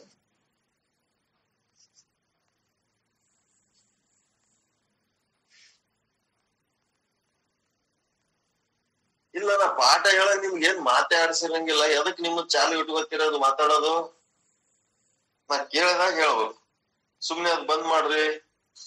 ಇಲ್ಲಿ ಹೇಳೋ ಪಾಠ ಮಿಸ್ ಮಾಡ್ಕೋತೀರಿ ನೀವು ಅಷ್ಟೇ. ನನಗ್ ತಿಳಿದಿದ್ದೆ ಅರ್ಧ ಮರ್ಧ ತಿಳಿದಿರ್ತದ. ನಾನ್ ಕಷ್ಟಪಟ್ಟು ನಿಮ್ಗೆ ಹೇಳ್ತಿರ್ತೀನಿ. ನೀವುನು ಅದ್ರಾಗ ಅರ್ಧ ಮರ್ಧ ತಿಳ್ಕೊಂಡ್ರಿ ಏನ್ ಮಾಡ್ಬೇಕು? ಹ್ಮ್? ಅದಕ್ಕೆ ಇಹಲೋಕ, ಪರಲೋಕಗಳಲ್ಲಿ ಗಮನಾಗಮನ ಅಂತಂದ್ರೇನು? ಈಗ ಬಂದಿರಿ. ಮನುಷ್ಯರಾಗಿ ಇಲ್ಲಿ ಕರ್ತೃತ್ವ ಮಾಡ್ತೀರಿ. ನಿಮ್ ಕರ್ತೃತ್ವ ತಗೊಂಡ್ ಏನಾಯ್ತು? ಸ್ಥೂಲ ಶರೀರ, ಆಯುಷ್ಯ ತೀರಿದ ಮೇಲೆ ಇಲ್ಲೇ ಬಿತ್ ಪಂಚಭೂತಗಳಲ್ಲಿ ಲೀನ್ ಆಯ್ತು. ಲೀನ್ ಆದ್ಮೇಲೆ ನಿಮ್ಮ ಸೂಕ್ಷ್ಮ ಶರೀರ ಮತ್ತು ಕಾರಣ ಶರೀರ. ಕಾರಣ ಶರೀರ ಅಂತಂದ್ರೆ ಇನ್ನ ನೀವು ಏನ್ ಮಾಡ್ಬೇಕಂತ ಬಂದಿದ್ರಿ, ಅದ್ರಾಗ ಇನ್ನ ಏಟ್ ಉಳ್ದದ. ಅಜ್ಞಾನವನ್ನ ಕಳ್ಕೊಂಡು ಜ್ಞಾನಿಗಳಾಗದಕ್ಕೆ ಬಂದಿರಿ. ಈ ಅಜ್ಞಾನದ ಪ್ರಮಾಣ ಇನ್ನ ಎಷ್ಟು ಉಳಿದದ? ಅಷ್ಟು ಅಜ್ಞಾನವನ್ನ ಮತ್ತು ಕಾರಣ ಶರೀರವನ್ನ ಅಂದ್ರೆ ಅಜ್ಞಾನವನ್ನ ಮತ್ತು ನಿಮ್ಮ ಸೂಕ್ಷ್ಮ ಶರೀರವನ್ನ ಇವೆರಡು ಜೊತೆಯಾಗಿ ನಿಮ್ಮ ಸ್ಥೂಲ ಶರೀರದಿಂದ ಸೆಪರೇಟ್ ಆಗಿ ಎಲ್ಲಿಗೆ ಹೋಗ್ತವಪ್ಪ ಅಂದ್ರೆ ಈಶ್ವರನ ಬಳಿ ಹೋಗ್ತಾವ. ಈಶ್ವರನ ಬಳಿ ಆದ್ಮೇಲೆ ಈಶ್ವರ ಏನ್ ಮಾಡ್ತಾನ? ನಿಮ್ಮ ಅಂಗಡಿಗೆ ಎಂತ ರೊಕ್ಕ ಕೊಡ್ತೀರಿ ಅಂತ ಮಾಲ್ ಕೊಡ್ತಾನ. ನಿಮ್ ಕರ್ತೃತ್ವ ಎಂತದಿರ್ತದ ಹಾಂಗ ನಿಮಗ್ ಭೋಕ್ತೃತ್ವ ಕೊಡ್ತಾನ. ಏನು ಎಂಬತ್ನಾಲ್ಕು ಲಕ್ಷ ಜೀವರಾಶಿಗಳ ಪೈಕಿ ಯಾವ ಶರೀರ ನೀವು ತಗೊಂಡು ಅನುಭವಿಸ್ಬೇಕು, ಮತ್ತೆ ಭೂಮಿ ಮೇಲೆ ಹುಟ್ಟಿ ಬರ್ಬೇಕು ಅಂತ ಅವನು ಡಿಸೈಡ್ ಮಾಡ್ತಾನ. ನಿಮ್ಮ ಕರ್ತೃತ್ವಕ್ಕೆ ತಕ್ಕಂತೆ ನೀವೇನ್ ಮಾಡ್ತೀರಿ? ಪರಲೋಕಕ್ಕೆ ಹೋಗಿ ಅಲ್ಲಿ ನಿಮ್ಮ ಕರ್ಮಕ್ಕೆ ತಕ್ಕಂತೆ ಶರೀರವನ್ನು ತಗೊಂಡು ಮತ್ತೆ ಭೂಮಿಗೆ ಬರ್ತೀರಿ. ಭೂಮಿಗೆ ಬರ್ತೀರಿ, ಮತ್ತೊಂದು ಹೊಸ ಶರೀರ ಬಂತು. ಹೊಸ ಶರೀರ ಎದಕ್ ಬಂತು? ಹಳೆ ಕರ್ಮ ಅನುಭವಿಸುವುದಕ್ಕಂತ ಬಂತು. ಹಳೆ ಕರ್ಮ ಅನುಭವಿಸುವುದರ ಜೊತೆಗೆ ನೀವೇನ್ ಮಾಡಿದ್ರಿ? ಇನ್ನೊಂದಿಷ್ಟು ಮತ್ತೆ ಹೊಸ ಕರ್ಮ ಮಾಡಿದ್ರಿ. ಮತ್ತ ಹೊಸ ಕರ್ಮ ಮಾಡಿ ಕರ್ತೃತ್ವ ಮಾಡಿ ಮತ್ತೆ ಪರಲೋಕಕ್ಕೆ ಹೋಗ್ತೀರಿ. ಹೋಗಿ ಮತ್ತೆ ಈಶ್ವರನ ಬಲ್ಲಿ ಏನು ತಿರೋಧಾನ ಸ್ಥಿತಿ ಅಂತಾರ. ಸೃಷ್ಟಿ ಸ್ಥಿತಿ ಲಯ ಆದ್ಮೇಲೆ ಏನಾಯ್ತು? ತಿರೋಧಾನ. ಎಲ್ಲಿ ಎದಿರಿ ಗೊತ್ತಿಲ್ಲ ಏನ್ ಎದಿರಿ ಗೊತ್ತಿಲ್ಲ. ಇದನ್ನ ಸುಮ್ನೆ ನಂಬಬೇಕು. ಕಾಲ್ಪನಿಕ ಇರ್ತದ ಖರೆ ಅದು ಸುಳ್ಳದು ಯಾವನಿಗೆ ಗೊತ್ತಿಲ್ಲ. ಮತ್ತೇನ್ ಮಾಡಿದ್ರು?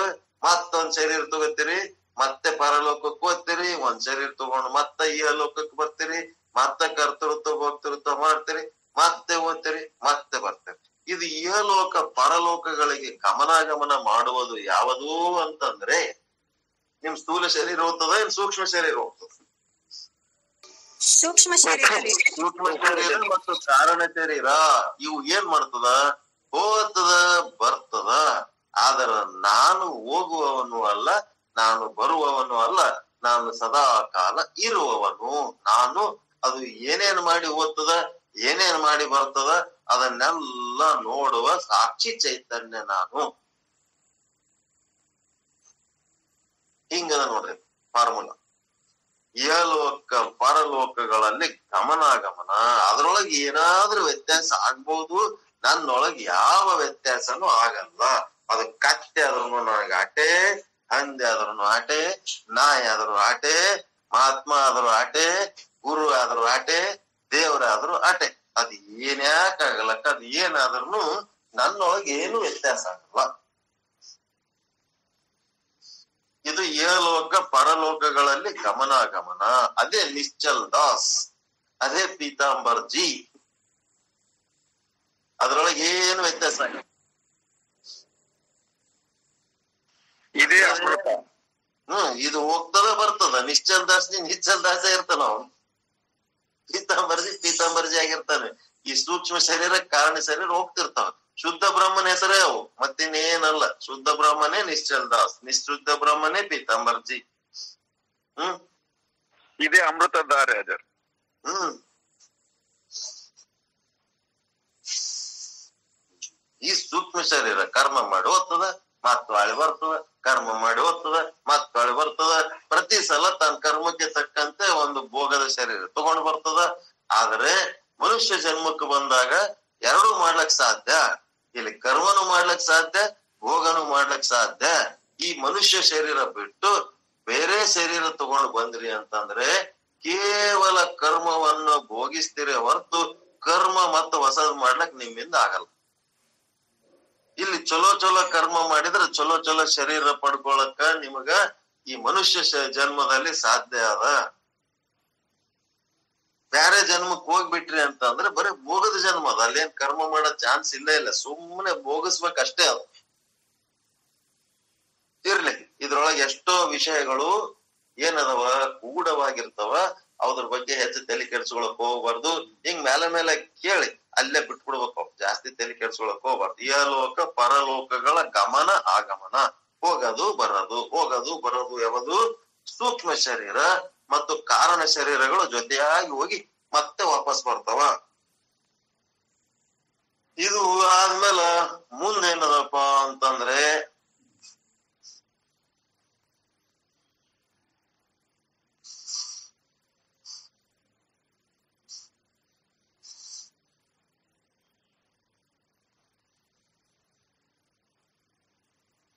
ವೈರಾಗ್ಯ ಮೂರನೇ ಧರ್ಮ ಎರಡನೇದ್ ಬರದ್ರ ಏನಂತ ಬರದ್ರಿ ಕತೆ ಹೇಳದೆ. ಬರ್ದೇವ್ರಿ ಇಹಲೋಕ ಪರಲೋಕದಲ್ಲಿ. ಗಮನಾಗಮನ. ಮನುಷ್ಯರಾಗಿ ಬಂದು ಕರ್ತೃ ಕರ್ತೃತ್ವವಾಗಿ ಇಲ್ಲಿ ಮಾಡಿದ ಮೇಲೆ ಮೇಲೆ ಹೋಗುವುದು ಸ್ಥೂಲ ಸ್ಥೂಲ ಶರೀರ ಆಯುಷ್ಯ ತೀರದ ಮೇಲೆ ಪಂಚಭೂತಗಳಲ್ಲಿ ಉಳಿಯಿತು ಸೂಕ್ಷ್ಮ ಶರೀರ ಮತ್ತು ಕಾರಣ ಶರೀರವು ತನ್ನ ಎಷ್ಟು ಪ್ರಮಾಣದ ಅಜ್ಞಾನವಿದೆಯೋ ಅಲ್ಲಿಂದ ಮತ್ತೆ ಬೇರೆ ದೇಹ ಬೇರೆ ರೂಪವನ್ನು ಪಡೆದು ಮತ್ತೆ ಬರುವುದು. ತನ್ನ ಕರ್ತೃತ್ವವನ್ನು ಹೇಗಿದೆ ಹಾಗೆ ಭೃತೃತ್ವವನ್ನು ಕೊಡುವನು. ಪರಲೋಕದಿಂದ ನಮ್ಮ ಕರ್ಮಕ್ಕೆ ತಕ್ಕಂತೆ ಹೊಸ ಶರೀರ ತೆಗೆದುಕೊಂಡು ಬರುವೆವು. ಸೃಷ್ಟಿ ಸ್ಥಿತಿಲಯ ಲಯ ಆದ ಮೇಲೆ ನಮಗೆ ಎಲ್ಲಿ ಇರುವೆವು ಅದು ಗೊತ್ತಿಲ್ಲ. ಅದಕ್ಕೆ ನಾವು ಎಂಬತ್ನಾಲ್ಕು ಲಕ್ಷ ಯೋನಿಗಳಲ್ಲಿ ಸೂಕ್ಷ್ಮ ಶರೀರ ಮತ್ತು ಕಾರಣ ಶರೀರ ಹೋಗುವುದು ಬರುವುದು ಇರುವುದು. ಆತ್ಮ ಸದಾ ಕಾಲವೂ ಇರುವುದು ಸಾಕ್ಷಿ ಚೈತನ್ಯನಾಗಿ ಇರುವನು. ಇದೇ ಇರೋಣ. ಪೀತಾಂಬರಜಿ ಇವರೇ ನಿಶ್ಚಲ ದಾಸ್ಜಿ. ಮನುಷ್ಯ ಶರೀರದಲ್ಲಿ ಮಾತ್ರ ಹೊಸ ಕರ್ಮಗಳನ್ನು ಅಂದರೆ ಒಳ್ಳೆಯ ಕರ್ಮಗಳನ್ನು ಮಾಡಬಹುದು ಕೆಟ್ಟ ಕರ್ಮಗಳನ್ನು ಕಳೆದುಕೊಳ್ಳಬಹುದು. ಬೇರೆ ಪ್ರಾಣಿಗಳಲ್ಲಿ ಕರ್ಮ ಭೋಗಿಸುವುದಕ್ಕೆ ಮಾತ್ರ ಬರುವುದು. ಆದರೆ ಹೊಸ ಕರ್ಮ ಒಳ್ಳೆಯ ಕರ್ಮಗಳನ್ನು ಮಾಡಿಕೊಳ್ಳುವಂತ ತಿಳುವಳಿಕೆಯು ಮನುಷ್ಯನಿಗೆ ಮಾತ್ರ ಕೊಟ್ಟಿರುವರು. ಸೂಕ್ಷ್ಮ ಶರೀರ ಮತ್ತು ಕಾರಣ ಶರೀರ ಹೋಗಿ ಬರುವುದನ್ನು ಇಟ್ಟುಕೊಂಡಿರುತ್ತದೆ. ನೋಡ್ರಿ ಎಲ್ಲಿ ಶಾರ್ಟ್ ಹ್ಯಾಂಡ್ ಅದ ಏನ ಮಾಡಿರಿ ಎಲ್ಲಾರಿ ಕೋರ್ಸ್ ಎಷ್ಟು ಚಂದ ಬರ್ಕೊಂಡಿರಲ್ಲ. ಏ ಇಲ್ರಿ ಇಲ್ರಿಪ್ಪ. ಇದು ಬಸವರಾಜಪ್ಪ ಅವ್ರು ಏನ್ ಹೇಳ್ತಿದ್ರು ಅಷ್ಟ್ ಕೇಳ್ಕೊಂಡ್ ಬಿಡ್ತಿದ್ದೇವಿ. ಇದು ನಿಮ್ದು ಹೇಳಿದ್ ಏನಾಗ್ಯದ ಅಂದ್ರಿ? ಅದು ರೆಕಾರ್ಡಿಂಗ್ ಎಲ್ಲ ಆಗ್ಯದಲ್ಲ ಅದು ಈಗ ನೀವು ಬರ್ ನೀವು ಹೇಳುವಾಗ್ರಿ ಇಷ್ಟು ಫಾಸ್ಟ್ ಬರದ್ರೂ ಒಂದ್ ಶಬ್ದ ಬಿಡಲ್ ನೋಡ್ರಿ ಅಪ್ಪ ಹಾ ಜಬ- ಜಬರ್ದಸ್ತ್ ಹ್ಮ್. ಕಾರಣ ಶರೀರದೊಳಗ ನೀವು ಅಜ್ಞಾನವನ್ನ ಜ್ಞಾನ ಮಾಡ್ಕೊಳಕ್ ಬಂದಿರ್ತೀರಲ್ಲ ಕಾರಣ ಶರೀರದೊಳಗ ಅಜ್ಞಾನದ ಪ್ರಮಾಣ ಇನ್ನು ಉಳಿದ ಪ್ರ, ಪ್ರಮಾಣ ಉಳಿದಿರ್ತದ. ಅದಕ್ಕ ಕಾರಣ ಶರೀರದ ಕಾರ್ಯ ಯಾವ್ದಂತಂದ್ರ ಸೂಕ್ಷ್ಮ ಶರೀರ. ಸೂಕ್ಷ್ಮ ಶರೀರದ ಕಾರ್ಯ ಯಾವ್ದಂತಂದ್ರ ಸ್ಥೂಲ ಶರೀರ. ಹಿಂಗ. ಕಾರಣ, ಕಾರ್ಯ. ಕಾರಣ ಅಂದ್ರ ಬಂಗಾರ, ಕಾರ್ಯ ಅಂದ್ರ ಆಭರಣ. ಕಾರಣ ಅಂತ, ಕಾರಣ ಅಂತಂದ್ರೆ ಮಣ್ಣು, ಕಾರ್ಯ ಅಂದ್ರೆ ಮಡಿಕೆ. ಹಂಗ ಕಾರಣ ಶರೀರದ ಕಾರ್ಯ, ಸೂಕ್ಷ್ಮ ಶರೀರ, ಸೂಕ್ಷ್ಮ ಶರೀರದ ಕಾರ್ಯ, ಸ್ಥೂಲ ಶರೀರ, ಹಿಂಗೆಲ್ಲ ಒಂದಕ್ಕೊಂದದವ. ಅದು ದೊಡ್ಡ ಶಾಸ್ತ್ರನೇ ಅದ, ಅದು ಸೈಡಿಗೆ ಹೋಗ್ಬಿಟ್ಟೇವ ಅಂತಂದ್ರೆ ಇಲ್ಲಿ ಮುಂದಕ್ಕೆ ಹೋಗಲ್ಲ, ಅದಕ್ಕೆ ಇದು ಹಿಡ್ಕೊಂಡು ಕೂತಿರ್ತೀವಿ. ನೆಕ್ಸ್ಟ್ ಏನಪ್ಪಾ ಮೂರನೇದ್ದೇನಪ್ಪಾ ಅಂತಂದ್ರೆ ವೈರಾಗ್ಯ. ಮತ್ತೆ ಶಮ ದಮ, ಮತ್ತೇನೇನು ಮಾಡ್ತಿರಲ್ಲ? ಶಮ ದಮ ಶ್ರದ್ಧಾ ಸಮಾಧಾನ. ಮತ್ತೇನೇನ್ ಮಾಡ್ತೀರಲ್ರಿ? ವಿವೇಕ ವೈರಾಗ್ಯ. ಶ್ರಮಾದಮ ಶ್ರದ್ಧಾ ಸಮಾಧಾನ. ಮುಂದೇನು? ವಿವೇಕ ವೈರಾಗ್ಯ. ಉಪರತಿ ತಿತಿಕ್ಷಾ.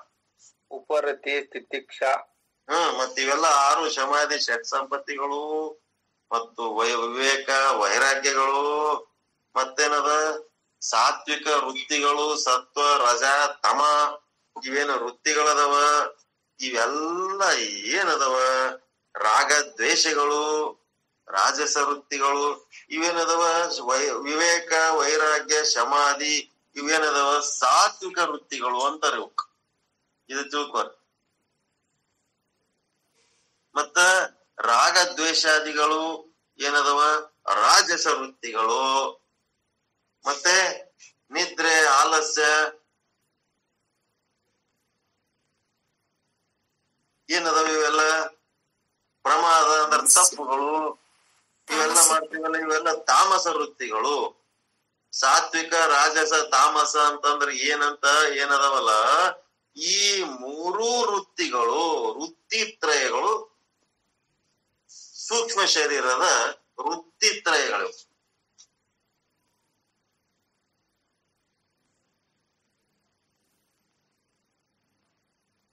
ಸಾತ್ವಿಕ ಯಾವುವು ವಿವೇಕ, ವೈರಾಗ್ಯ ಸಮಾಧಿ ಷಟ್ ಸಂಪತ್ತಿ, ಮುಮುಕ್ಷತ್ವ ಇವೆಲ್ಲ ಸಾತ್ವಿಕ ವೃತ್ತಿಗಳು. ನೆಕ್ಸ್ಟ್ ರಾಗ ದ್ವೇಷಾದಿ ಏನದು? ರಾಗ, ದ್ವೇಷ, ಏನೇನ್ ಮಾಡ್ತಿರಲ್ಲ ಈ ಜಗತ್ತಿನ ಇತರ ಜೀವಿಗಳ ಜೊತೆಗೆ ನಿಮ್ಮ ವ್ಯವಹಾರಗಳು, ಅವೆಲ್ಲ ಏನದವ? ರಾಜಸ ವೃತ್ತಿಗಳು. ಇಲ್ಲಿ ಏನ್ ನಡೆದದ ಅದೆಲ್ಲ ರಾಜಸ ವೃತ್ತಿ. ಒಂದಿಸ್ ಮಂದಿಗೆ ಬೇಕಾದವ್ರಾಗಿರ್ರಿ ಒಂದಿಸ್ ಮಂದಿಗೆ ಬೇಡದವ್ರಾಗಿರ್ರಿ ಇದೆಲ್ಲ ರಾಜಸ ವೃತ್ತಿ. ಮುಂದೆ, ಏ ನಮ್ಗೆ ಅದಕ್ ಬಿಡಪ್ಪ ಹೋಗ್ಲಿ ನಾವು ನಮ್ದೇ ನಡೆದದ ಎಲ್ಲ ಆರಾಮ, ಮತ್ತೆ ಯಾಕೆ ತಲೆ ಕೆಡ್ಸ್ಕೊಳ್ಳೋ ಮತ್ತೆ ಹಿಂದಕ್ ಕುಂದಿರ್ತೀವಲ್ಲ, ಇದೇನದ? ತಾಮಸ ವೃತ್ತಿ. ಅಲಕ್ಷ್ಯ ಮಾಡೋದು, ಆಲಸ್ಯ ಮಾಡೋದು, ಮತ್ತೆ ಏನಾದ್ರೂ ಜವಾಬ್ದಾರಿಗಳು ಹೊರಿಸಿದಾಗ ಸಿಟ್ಟಿಗೆ ಬಂದು ಒಳ್ಳೆ ಜಗಳಕ್ಕೆ ಬೀಳೋದು ಇವೆಲ್ಲ ಏನದವ? ತಾಮಸ ವೃತ್ತಿ ಕೈಲಾಗ್ಲಾರ್ದಕ್ಕೆ ಏನಾತ ಒಳ್ಳೆ ಚಾಲು ಚಾಲ ಹಿಂಗಿರ್ತಾವ ತಾಮಸ ವೃತ್ತಿ. ಇವೇನದ? ವೃತ್ತಿತ್ರಯಗಳು. ಈ ಮೂರು ಇವು ಇವು ಮೂರು ವೃತ್ತಿತ್ರಯಗಳು ಏನದವಲ್ಲ? ಗುಣತ್ರಯಗಳು, ವೃತ್ತಿತ್ರಯಗಳು. ಏನದವ? ಈ ಗುಣಗಳು. ಏನದವ? ಎದರ್ದಿ ಗುಣಗಳು? ಲಿಂಗ ದೇಹದ ಗುಣಗಳು, ಸೂಕ್ಷ್ಮ ದೇಹದ ಗುಣಗಳು.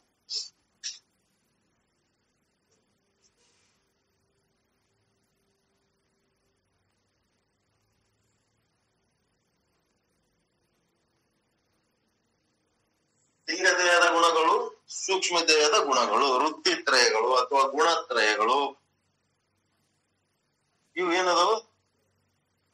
ಸತ್ವ, ರಜ, ತಮ ಈ ವೃತ್ತಿಗಳು, ಗುಣಗಳು. ಇದು ಮೂರನೇದ್ದು ಗುಣ. ಮತ್ತ ನಾಲ್ಕನೇದ್ದು ಏನದ? ಶರೀರದ ಅವಶ್ಯಕತೆಗಳು ಮತ್ತು ಈ ಶರೀರದ ಸ್ಥಿತಿಗತಿಗಳು. ಏನು? ಇದ್ರೊಳಗ ಸೂಕ್ಷ್ಮ ಶರೀರ ಏನೇನದವ? ಸ್ಥೂಲ ಶರೀರಕ್ಕೆ ಸಂಬಂಧಪಟ್ಟಂತವೆಲ್ಲ ಕೆಲವೊಂದು ಇವು ಕೊಡ್ತಾನ. ಕ್ಷುಧ ತೃಷ ಕ್ಷುಧ ಅಂದ್ರೆ ಏನು ಕ್ಷುತ್ ಅಂದ್ರೆ ಹಸಿವು. ಇಪ್ಪತ್ತೈದು ತತ್ವ, ಸ್ಥೂಲ ಶರೀರದ ಇಪ್ಪತ್ತೈದು ತತ್ವ ಅದಾವಲ್ಲ ಎರಡಾಗ ಬರ್ತಾವ. ಶುಧ ಅಂತಂದ್ರ ಕಡೆ ಸ್ಥೂಲ ಶರೀರದಾಗ ಬರ್ತಾವ, ಈ ಕಡೆ ಸೂಕ್ಷ್ಮ ಶರೀರದಾಗ ಬರ್ತದ ಇದು. ಶುಧ ಹಸಿವು, ಮತ್ತೆ ತೃಷ ಬಾಯಾರಿಕೆ ಮತ್ತೆ ಅಂಧತ್ವ, ಮಂದತ್ವ, ಪಟುತ್ವ, ಧರ್ಮಗಳು. ಅಂಧತ್ವ, ಮಂದತ್ವ, ಪಟುತ್ವ, ಧರ್ಮಗಳು. ಇದು ನಾಲ್ಕನೇ ಧರ್ಮ ಲಿಂಗ ದೇಹದ ಧರ್ಮ. ನಾಲ್ಕು ಧರ್ಮಗಳು ಹೇಳ್ರಿ ಸ್ಮಾರ್ಟ್ ಆಗಿ ಸೂಕ್ಷ್ಮ ಶರೀರದ ನಾಲ್ಕು ಧರ್ಮಗಳು. ಒಂದು ಸೂಕ್ಷ್ಮ ದೇಹದ ಇದ್ರೊಳಗ ಒಂದೇದ್ರಿ ಕರ್ತೃತ್ವ ಮತ್ತು ಭ್ರೋತೃತ್ವಗಳು. ಇಹಲೋಕ ಪರಲೋಕದಲ್ಲಿ ಗಮನಾಗಮನಗಳು. ಗಮನ, ಇದು ಎರಡನೇದು. ಇವು ಶಮ ಧಮ ಉಪರತಿ ತಿತಿಕ್ಷ ಈ ಅವೆಲ್ಲ ಎಕ್ಸ್ಪ್ಲನೇಷನ್ ಆಯ್ತು. ಗುಣತ್ರಯಗಳು ಅಥವಾ ವೃತ್ತಿತ್ರಯಗಳು. ಗುಣತ್ರಯಗಳು ರೀ. ಇವು ವೃತ್ತಿ ಗುಣ ಎಲ್ಲ ಒಂದೇ. ಇವು ಏನದವ? ಇವು ಅಷ್ಟೇ ಸ್ಮಾರ್ಟ್ ಆಗಿ ಹೇಳಕ್. ಮುಂದ ಅವ್ ಎಕ್ಸ್ಪ್ಲೇನ್ ಮಾಡೋದು. ಗುಣತ್ರಯಗಳೊಳಗ ಸತ್ವ ಅಂದ್ರೆ ಯಾವುದು? ರಾಜ ಅಂದ್ರೆ ಯಾವುದು? ಕಾಮ ಅಂದ್ರೆ ಯಾವುದು? ಅಂತೇಳಿ ಎಕ್ಸ್ಪ್ಲೇನ್ ಮಾಡಿದಾಗ ಅವು ಹೇಳ್ಬೇಕು. ಹೊರತು ಈ ಗುಣತ್ರಯಗಳು ಮತ್ತು ಏಲೋಕ ಪರಲೋಕಗಳ ಗಮನಾಗಮನ ಮತ್ತು ಕರ್ತೃತ್ವ ಭೋಕ್ತೃತ್ವ ಇವು ಮೂರು ಸ್ಮಾರ್ಟ್ ಆಗಿ ಹಿಂಗ್ ಹೇಳ್ಬೇಕು. ನಾಲ್ಕನೇದ್ ಹೆಂಗ್ ಹೇಳ್ತೀರಿ? ಇವು ಶರೀರದ ಅವಶ್ಯಕತೆಗಳಿಗೆ ಶರೀರದ ಸ್ಥಿತಿಗತಿಗಳು. ಸ್ಥೂಲದ ಇಪ್ಪತ್ತೈದು ತತ್ವಗಳಿದ್ದು ಅದೇ ಸೂಕ್ಷ್ಮಕ್ಕೂ ಇಪ್ಪತ್ತೈದು ತತ್ವಗಳು ಬರ್ತಾವ್ರಿ. ಹಂಗಲ್ಲ. ಈ ಕ್ಷುದ ಮತ್ತು ತೃಷ ಸ್ಥೂಲ ಶರೀರದ ತತ್ವದಂಗ ಅದಾವ. ಅವೇ ಅವೆರಡೇ ಉಳಿದು ಎಲ್ಲ ಬರಲ್ಲ. ಇಪ್ಪತ್ತೈದು ತತ್ವ ಬರ್ತಾವ ನಾನೇನ್ ಹೇಳಿನಿ. ಎರಡೇ, ಹಸಿವು ಮತ್ತು ತೃಷೆ. ಹಸಿವು ಮತ್ತು ತೃಷೆ ಮತ್ತು ಅಂಧತ್ವ, ಮಂದತ್ವ, ಪಟುತ್ವ ಇತ್ಯಾದಿ ಧರ್ಮಗಳು ಇವು. ನಾನಲ್ಲ, ನನ್ನವು ಅಲ್ಲ. ಈ ರೀತಿ ಸ್ಮಾರ್ಟ್ ಆಗಿ, ಅಲ್ಲಿ ಹೆಂಗ ನೀವು ಹದಿನೇಳು ತತ್ವ ಹೇಳ್ತೀರಿ? ಅದೇ ರೀತಿ ಇಲ್ಲಿ, ಅಲ್ಲಿ ಏಳು ಧರ್ಮಗಳು ಹೆಂಗ್ ಹೇಳ್ತೀರಿ? ಹಂಗ ಇಲ್ಲಿ ಈ ನಾಲ್ಕು ಧರ್ಮಗಳು ಹೇಳುವ ಕೌಶಲ್ಯ ಬರ್ಬೇಕು. ಈ ನಾಲ್ಕು ಧರ್ಮಗಳು ಹೇಳುವ ಕೌಶಲ್ಯ ಬಂದಾಗ ಏನಾಗ್ತದ? ಹೆಂಗ್ ಬರ್ತದ ಅಂದ್ರ ನಾಲ್ಕು ಧರ್ಮಗಳ ಬಗ್ಗೆ ನಿಮಗೆ ಲಘುವಾಗಿ ವಿವರಣೆ ಮತ್ತು ಸ್ಥೂಲವಾಗಿ ವಿವರಣೆ ಸಿಕ್ಕಾಗ ಈಗ ಲಘು ವಿವರಣೆ ನಾಳೆ ಮಾಡೋಣ. ಲಘು ವಿವರಣೆ ಅಂತಂದ್ರೆ ಹೆಂಗ? ಲಘುವಾಗಿ ಹೇಳೋದಂದ್ರೇನು? ಓಸು ನಾಲ್ಕು ನಾಲ್ಕು ಧರ್ಮಗಳೇನದವಲ್ಲ? ಲಿಂಗ ದೇಹದ ಮತ್ತು ಅದರ ಧರ್ಮಗಳು. ನಾಲ್ಕು ಧರ್ಮಗಳು ಒಂದ್ ಐದು ನಿಮಿಷನಾಗ ಹೇಳ್ಬಿಟ್ರೆ ಅದು ಲಘುವಾಗಿ ಹೇಳೋದು. ಸರಳವಾಗಿ ಸ್ವಲ್ಪ ಶಾರ್ಟ್ ಆಗಿ ಹೇಳೋದಕ್ಕೆ ಲಘುವಾಗಿ ಹೇಳೋದು. ನೆಕ್ಸ್ಟ್ ಏನ್ ಮಾಡ್ತಾನ?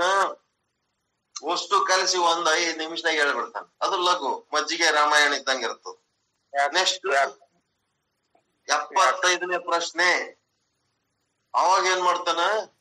ಕರ್ತೃತ್ವ ಮತ್ತು ಭೋಕ್ತೃತ್ವ ನಾನಲ್ಲ, ನನ್ನವ ಅಲ್ಲ ಎಂದು ಈ ಲಿಂಗದೇಹದ ಧರ್ಮವನ್ನು ಹೇಗೆ ತಿಳಿಯುವಿರಿ ಅಂತ ಒಂದು ಇಂಪಾರ್ಟೆಂಟ್ ಪ್ರಶ್ನೆ ಕೊಟ್ಬಿಡ್ತಾನ ಅದಕ್ಕೆ. ಆ ಪ್ರಶ್ನೆ ಕೊಟ್ಟಾಗ ಲಘುವಾಗಿ ಹೇಳಕ್ ಬರಲ್ಲ, ಅದು ಡಿಟೇಲ್ ಆಗಿ ಹೇಳ್ಬೇಕಾಗ್ತದೆ. ಎರಡು ಮಾರ್ಕ್ಸಿನ ಪ್ರಶ್ನೆಗೆ ಎರಡು ಮಾರ್ಕ್ಸಿನ ಉತ್ತರ. ಒಂದು ಮಾರ್ಕ್ಸಿನ ಪ್ರಶ್ನೆಗೆ ಒಂದು ಮಾರ್ಕ್ಸಿನ ಉತ್ತರ. ಐದು ಮಾರ್ಕ್ಸಿನ ಪ್ರಶ್ನೆಗೆ ಐದು ಮಾರ್ಕ್ಸಿನ ಉತ್ತರ. ಹಿಂಗಿರ್ತಾವ. ಅದಕ್ಕೆ ಇಲ್ಲಿ ಲಘುವಾಗಿ ಹೆಂಗ ಮತ್ತೆ ವಿವರವಾಗಿ ಹೆಂಗ ಅಂದ್ರೆ ಒಂದು ಪ್ರಶ್ನೆ ಟೋಟಲ್ ಕೊಟ್ಟಾಗ ವಿವರವಾಗಿ. ಎಲ್ಲವಷ್ಟು ಸೇರಿ ಒಂದರಗೆ ಹೇಳಂದ್ರೆ ಅದು ಲಘುವಾಗಿ ಹೇಳಬೇಕು. ಲಘುವಾಗಿ ಹೇಳಲ್ಲಿ ಓಕೆ, ಓದಕ್ಕೆ ಎಕ್ಸ್ಪ್ಲೇನ್ ಮಾಡ್ಕೊತ ಆದ್ರೆ ಏನಾಗ್ತದ? ಆ ತುದಿದು ಮರ್ತು ಈಗ ಏನ್ ಹೇಳ್ತೀವಿ ಮುಂದೆ ಏನ್ ಹೇಳ್ತಾರೆ ಏನು ಗೊತ್ತಾಗಂಗಿಲ್ಲ. ಲಘುವಾಗಿ ಹೇಳ್ಬೇಕಾಗದಲ್ಲಿ ಲಘುವಾಗಿ ಹೇಳ್ಬೇಕು ವಿವರವಾಗಿ ಹೇಳ್ಬೇಕಾದಲ್ಲಿ ವಿವರವಾಗಿ ಹೇಳ್ಬೇಕು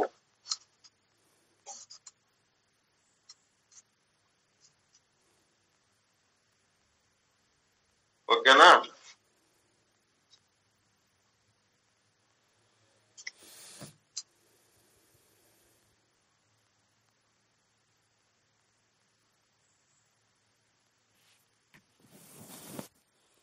ಲಘುವಾದ ವಿವರಣೆ ನಾಳೆ ಕೊಡೋಣ. ಈಗ ಬರೇ ನಾಲ್ಕು ಧರ್ಮಗಳು ಯಾವ್ಯಾವ ಅನ್ನೋದು ಗೊತ್ತಾಯ್ತು. ಇದು ವಿವರಣೆ ನಾಳೆ.